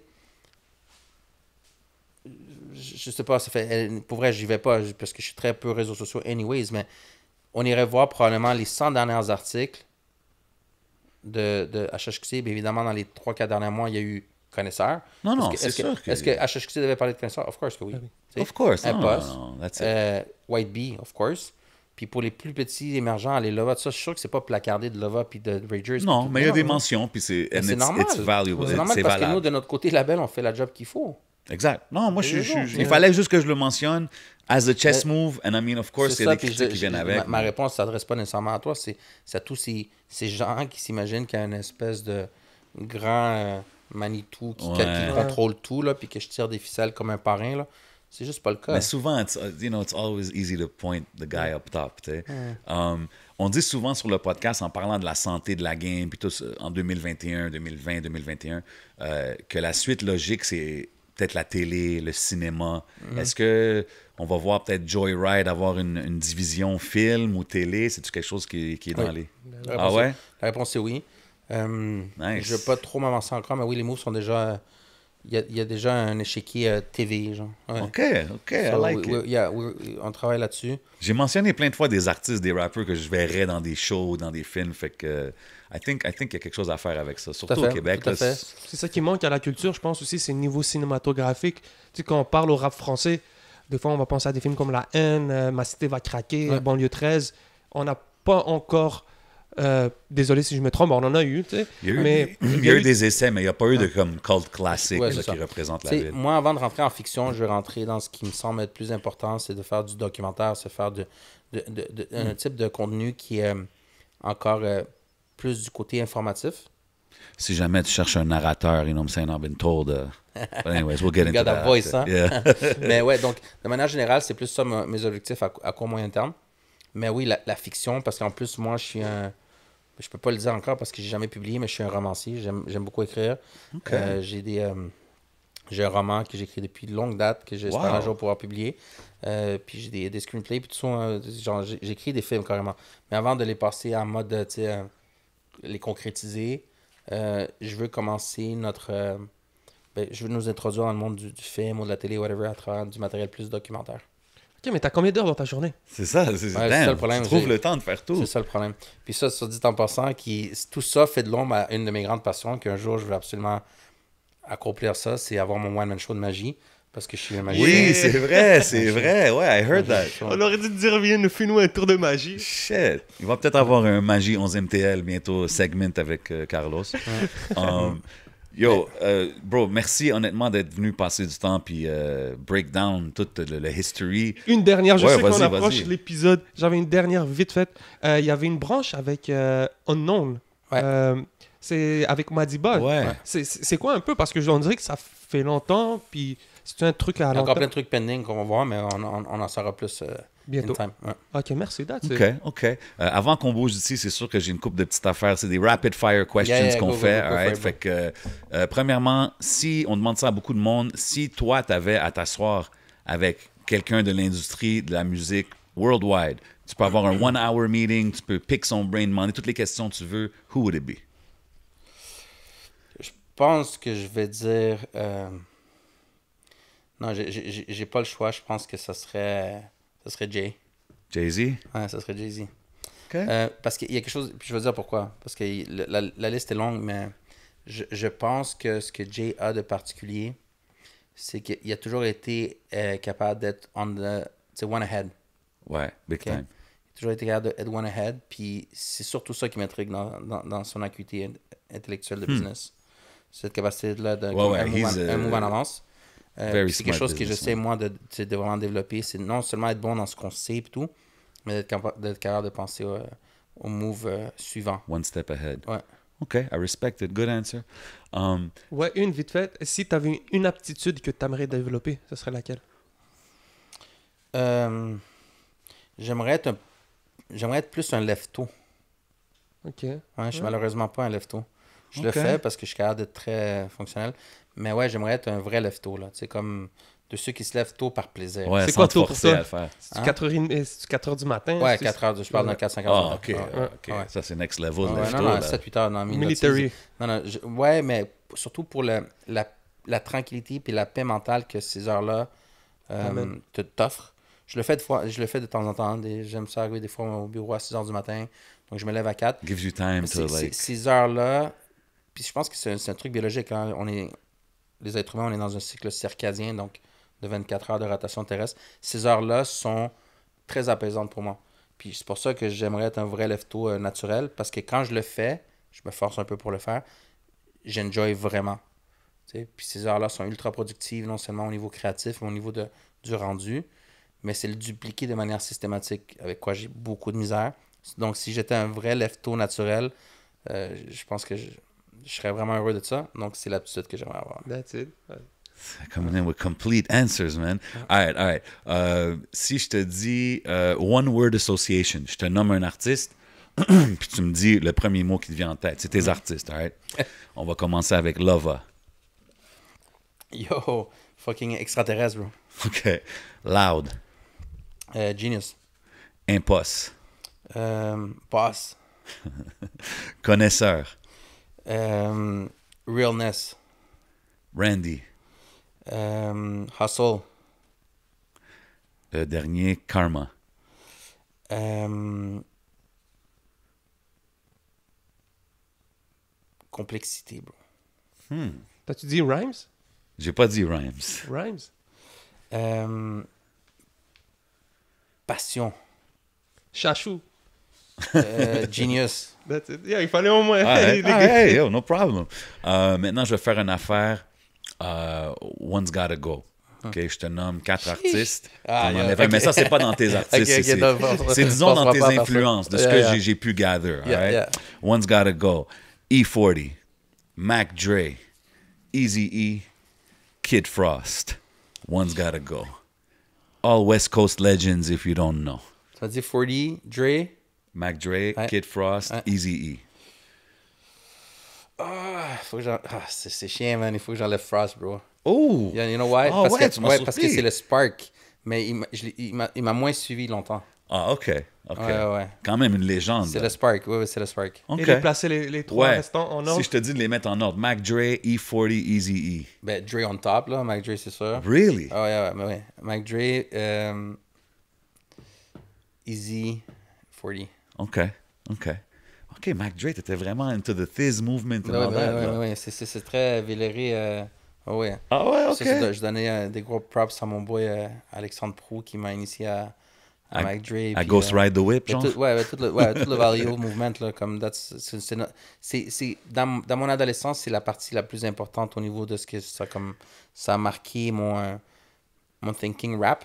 C'est tout le Mais c'est intéressant que tu dis Vallejo parce que euh, est-ce que Sick With It t'a comme influencé un Ouais, peu? aussi, ouais, tout ça. Euh, Je, je te dirais que quand j'ai commencé à, li- à lire le Murder Dog magazine, ça a été les années les plus formatrices au niveau de mes, de réflexions. Parce qu'évidemment, tu sais, tout, tout le Death Row era, tout ça, euh, a été super influent pour moi, mais quand on a vraiment commencé à plonger, ben, il y a eu Memphis avant avec 36, mais quand on a vraiment plongé dans Vallejo, euh, puis quand j'ai commencé à lire le Murder Dog magazine, c'est là que j'ai vu toute la toute l'approche euh, do it yourself Yeah, independent, independent local. approach mais la vraie approche independent parce que ce que les gens ignorent souvent c'est que le East Coast s'est développé à travers des des, des labels qui venaient euh, qui, ont- qui ont bénéficié de l'appui des majors Ouais, les majors alors sont que le à New West York. Coast c'était out of the trunk system c'était vraiment euh, il y a une entrevue d'ailleurs avec E40 euh, qui racontait lorsqu'ils ont sorti le premier album de Click ils se sont vraiment donné un objectif. Il fallait qu'ils soient capables de vendre 10 pour- ont, ils ont- ils ont sorti une liste des écoles, des high schools dans l'area. Puis ils se sont dit, si on vend 10% de chaque high school des CD out of the trunk, we make this mu- much money. Fait que l'objectif, c'est qu'ils ont envoyé des, des, des- des street teams à la sortie de ces écoles-là. Puis ils disaient, OK, cette école-là, il y a 3800 étudiants. Il faut vendre 380 CD. Out of the trunk. Malade. Ils sont arrivés avec les machines, ils bumpaient le beat, puis ils vendaient des CD, genre. Puis il fallait qu'ils hit the numbers. Puis leur street team était payé seulement s'ils arrivaient à vendre le, le, le- le chiffre qui équivalait à 10%. Incentive. Puis la petite histoire est qu'ils ont vendu facilement 40% et plus de toutes les écoles en termes de CD. So des- euh, E40, c'est le premier genre ghetto platinum dude. Absolument. OK, tu sais, 30 albums deep, là. c'est fou, là, tu sais. man. So, E40 a fait une fortune à, à travers un modèle qui est euh, B2C super direct. Business to cu- customer. Puis c'est absolument. comme, on- si tu le veux pas aujourd'hui, tu vas le vouloir demain. Don't ça, ça a why vraiment inspiré. uh, Ça m'a fait, ça m'a fait penser à comment est-ce que c'était possible de faire quelque chose comme ça au Québec. Puis I gotta, I gotta respect, I gotta give respect à des panneaux qui ont fait ça au Québec.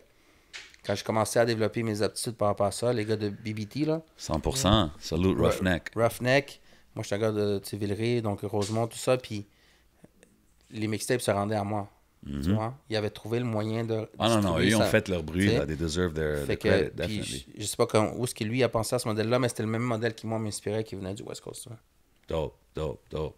Very interesting, man. It's like a history lesson en même temps. Euh, on va faire une dernière chose. Euh, Je te donne ou bien un choix, un ou l'autre, ou bien tu finis la phrase. All right, so we're going to get off on that. Uh, J-Lo or Sofia Vergara? Yo, J-Lo, bro. What do you Okay. mean? Non, Sophia, je, Come on, good. man. Non, non, mais J-Lo, c'est comme. Yo, je suis à peu près du même age range, là. C'est comme. Sophia aussi, mais. Non, non, mais. Sophia, bro. Non, mais J-Lo, J-Lo. J-Lo. OK, fair. Euh, là, fini la phrase. Quand ça vient au travail, mon partner Ariel est... Indispensable. Nice. Parce que Euh, c'est mon ombre, tu vois. When I need, when I need that support, genre, euh, ce partenaire très particulier c'est comme when I need that support, il est là. C'est dope, c'est dope. Euh, OK, choix. Euh, empanadas ou poutine? Shit, bro, il faut qu'on crée l'empanada à la poutine. OK. Remind- Mais non, yo, respect, euh, respect à la poutine. J'adore la poutine. Mais empanada for life, bro. OK. Surtout OK. du sud du Chili, là, genre dans la région de yo, Concepción, dans un rodéo. Yeah. Check it out. Um, euh, fini la phrase. Dernier projet que j'ai bump non-stop est? Euh, Victory Lap. Victory Lap. Yeah. OK. Wow. OK. Uh, R.I.P. Nipsey. Um, Biggie or, or Pac? Pack all day, bro. Thank you. Fine. Yo, t'as vu, man? C'est ça que je dis, bro. Le monde n'écoute pas. Le monde, ils savent pas. Anyways. Euh, OK. Euh, fini la phrase. Si quelqu'un connaît pas le rap franco-ricain, la première track que je lui joue est... Devenir immortel et puis mourir. OK. Nice. Good choice. Parce que ce track-là est, particulièrement franco-ricain, tu vois. Euh, Enterrez-moi sur du Prodigy. ok? Ouais, Ok, love that c'est Parce line. que, tu sais, tu sais que Loud, c'est un rap scholar, tu vois. Tu peux parler rap avec ce gars-là pour vrai, là. He knows his shit, là. C'est cette vidéo-là qu'il y a le, le- On voit le Infamous, Ouais, l'album, là, un exactement, moment donné. c'est ça, Ouais. ok. Puis, tu sais, ce- ce- ce track-là, je me souviens, en France, les gens me disaient Ah, pourquoi il veut se faire enterrer sur du Prodigy Ils pensaient que c'était le groupe. euh, c'est comme du techno, là? Ah, non, Oh, man, Le non. EDM group, là. OK, ouais. J'étais comme, yo, yo, motherfuckers don't get it, dude. C'est comme, euh, ce, ce track-là est tout ce qu'il y a de plus franco-ricain, bro. Les, les, les, les, les, les analogies, les métaphores, le flow, les changements de flow, le sing-along, les, les références. Yo, that's the perfect song. Quand, que, quand que Rough Sound, c'est Rough Sound qui m'a montré les maquettes du... euh, non, les, les, les masters du premier album dans une année record. Euh, puis il y en avait six ce soir-là. Puis on est allé hit un, un restaurant sur... À l'époque, on pouvait aller au resto, là. Yeah. On aimait Back bien Good old days. days. hit, hit un petit martini ou un petit, euh, un petit henny au, euh, au Majestic sur Saint-Laurent. Puis là, il dit Yo, je te pick up, j'ai des shit à te faire entendre. Puis je savais que c'était ça, mais j'étais comme Mais non, ça se peut pas qu'il y ait les 10 chansons. Fait qu'il me dit Yo, j'en ai 6. Fait que là, je m'assois en avant du whip, puis on part vroom, puis euh, il y, a le- il y, a- il y a le pied lourd, Rough Sound. Shout out à mon Rough. Big Shout out. Il- Rough Sound. Il, il- il joue Nouveau Riche. Là, je suis comme, yo, what the fuck, c'est dans mes fous, tu sais. Puis là, tout de suite après Nouveau Riche, Sleeping with Girls, je me souviens encore de l'un des chansons, tu sais. Puis là, je- mon ventre fait du bruit. Là, j'entends ça, je dis, oh, c'est fou. Et là, man, il met Devenir immortel, bro. Pour moi, ça a été une révélation. C'est quand j'ai entendu Devenir immortel que je savais que Larda allait devenir immortel. Damn. Wow. So that's the one, that's the one. Yeah. Euh, dernier choice, I mean, je pense que tu l'as répondu durant la conversation, mais follow your passion or follow the bag? Euh, ouais, the passion, of course. Mais il faut jamais s'oublier. Puis parfois, la passion fait qu'on s'oublie. C'est comme le masque d'oxygène dans l'avion, bro. Mm-hmm. Ils disent tout le temps, mets-le en premier. Puis après, tu le mets à ton enfant. Yeah, Quand j'étais kid, je me souviens, je, je, je, je- je me souviens, genre jeune, puis il, il donnait les instructions, puis j'étais comme, what the fuck? Pourquoi tu mettrais ton masque avant celui. J'ai vraiment faim, je, je- mon ventre fait du bruit. Je dis, pourquoi tu mettrais ton masque avant que celui du kid? Puis, as a kid, I didn't get it. Yeah. J'étais comme, ben non, mais tu mets le masque, le Yeah, kid, puis après save tu me mets first. comme... Yeah. Puis, en vieillissant, j'ai compris toute la logique derrière ça, tu sais. Quand j'étudiais en histoire, j'avais une histoire où une, euh, on avait lu des lettres ouvertes dans les camps de concentration euh, nazis. Puis, euh, il y avait une mère qui avait expliqué qu'elle se faisait donner un bout de pain par jour. Puis, elle avait trois kids. OK? Puis, dans la lettre, elle, elle expli- elle ex- expliquait son shame, mais la nécessité rationnelle dans sa tête de manger presque tout le pain. Puis un petit bout, elle le partageait avec les kids. Tu sais? Puis je me souviens quand j'avais lu cette lettre-là, parce que je faisais mon cours d'histoire, puis ça m'avait hit sur sa compréhension à elle, qui était de. Elle sait très bien qu'elle aimerait nourrir ses enfants. Son instinct de masse, c'est je vais nou- nourrir mes enfants. En plus, c'est un petit bout de pain, tu sais. C'est rien, là. Je vais les nourrir eux first, puis je vais me nourrir moi après. Mais elle a compris que si elle tombait au combat, ses enfants mourraient. C'est ça. Exactly. Tu sais? So, passion, mais il faut se considérer là-dedans parce que si tu t'oublies, tu n'auras jamais la possibilité de vraiment assouvir tes passions et tu n'auras pas le bag. So, il faut penser un peu au bag. Totalement. 100%, Non, ça? man. Yeah. 100%. Fait que les man. deux analogies de l'avion puis du camp de concentration juste, tout Yo, ça pour c'est- dire follow your passion, but you need a bag. If there is no bag, ta passion va devenir ton fucking genre. Tu vas creuser ta tombe peu à peu au fil des années. Mm. Think about the passion with a bag, not the other way around. Tu vois? Facts. Appreciate that, man. Yo, big words, big gems being dropped today, man. Merci encore une fois d'être passé, Yeah, man. Puis Yeah, félicitations, félicitations pour tout ce que tu fais dans le game, puis, puis merci pour tout ce que tu as contribué, man, jusqu'à maintenant. Big shout out to you and the whole Joyride family. Merci les boys. Ça Et congrats à vous autres, man. Je vois juste l'évolution puis tout. Puis toi, petit patinet, je, je me souviens quand que t'étais quoi, il y a 10 ans, tu sais, going up in the game, toi, Ben ouais. depuis fucking way back, bro. Ça fait que. Moi, je me rappelle la première fois que j'ai vu, man. tu travailles sur l'album de Mauvais Actes, man, dans Shit, le temps. c'est déjà en Donc, 2011, club- 2012. Ouais, ouais. Donc, euh, big C'est up, c'est man. vraiment dope, man. Puis on apprécie ça vraiment, man. So, much love to you and the whole Joyride family. Vous savez comment qu'on fait, man. Vous savez, on est où? On est au Hidden Showroom. Holla at my boy Bodo. You know who got us right? Smoke Signals. Yeah, you know where we get, get where we go get our drinks, our exotic flavors. Rare drink, you know what I Uh-huh. mean? It's your boy J7. C'est votre boy le 11. And we out like that. Ciao, ciao. Pow!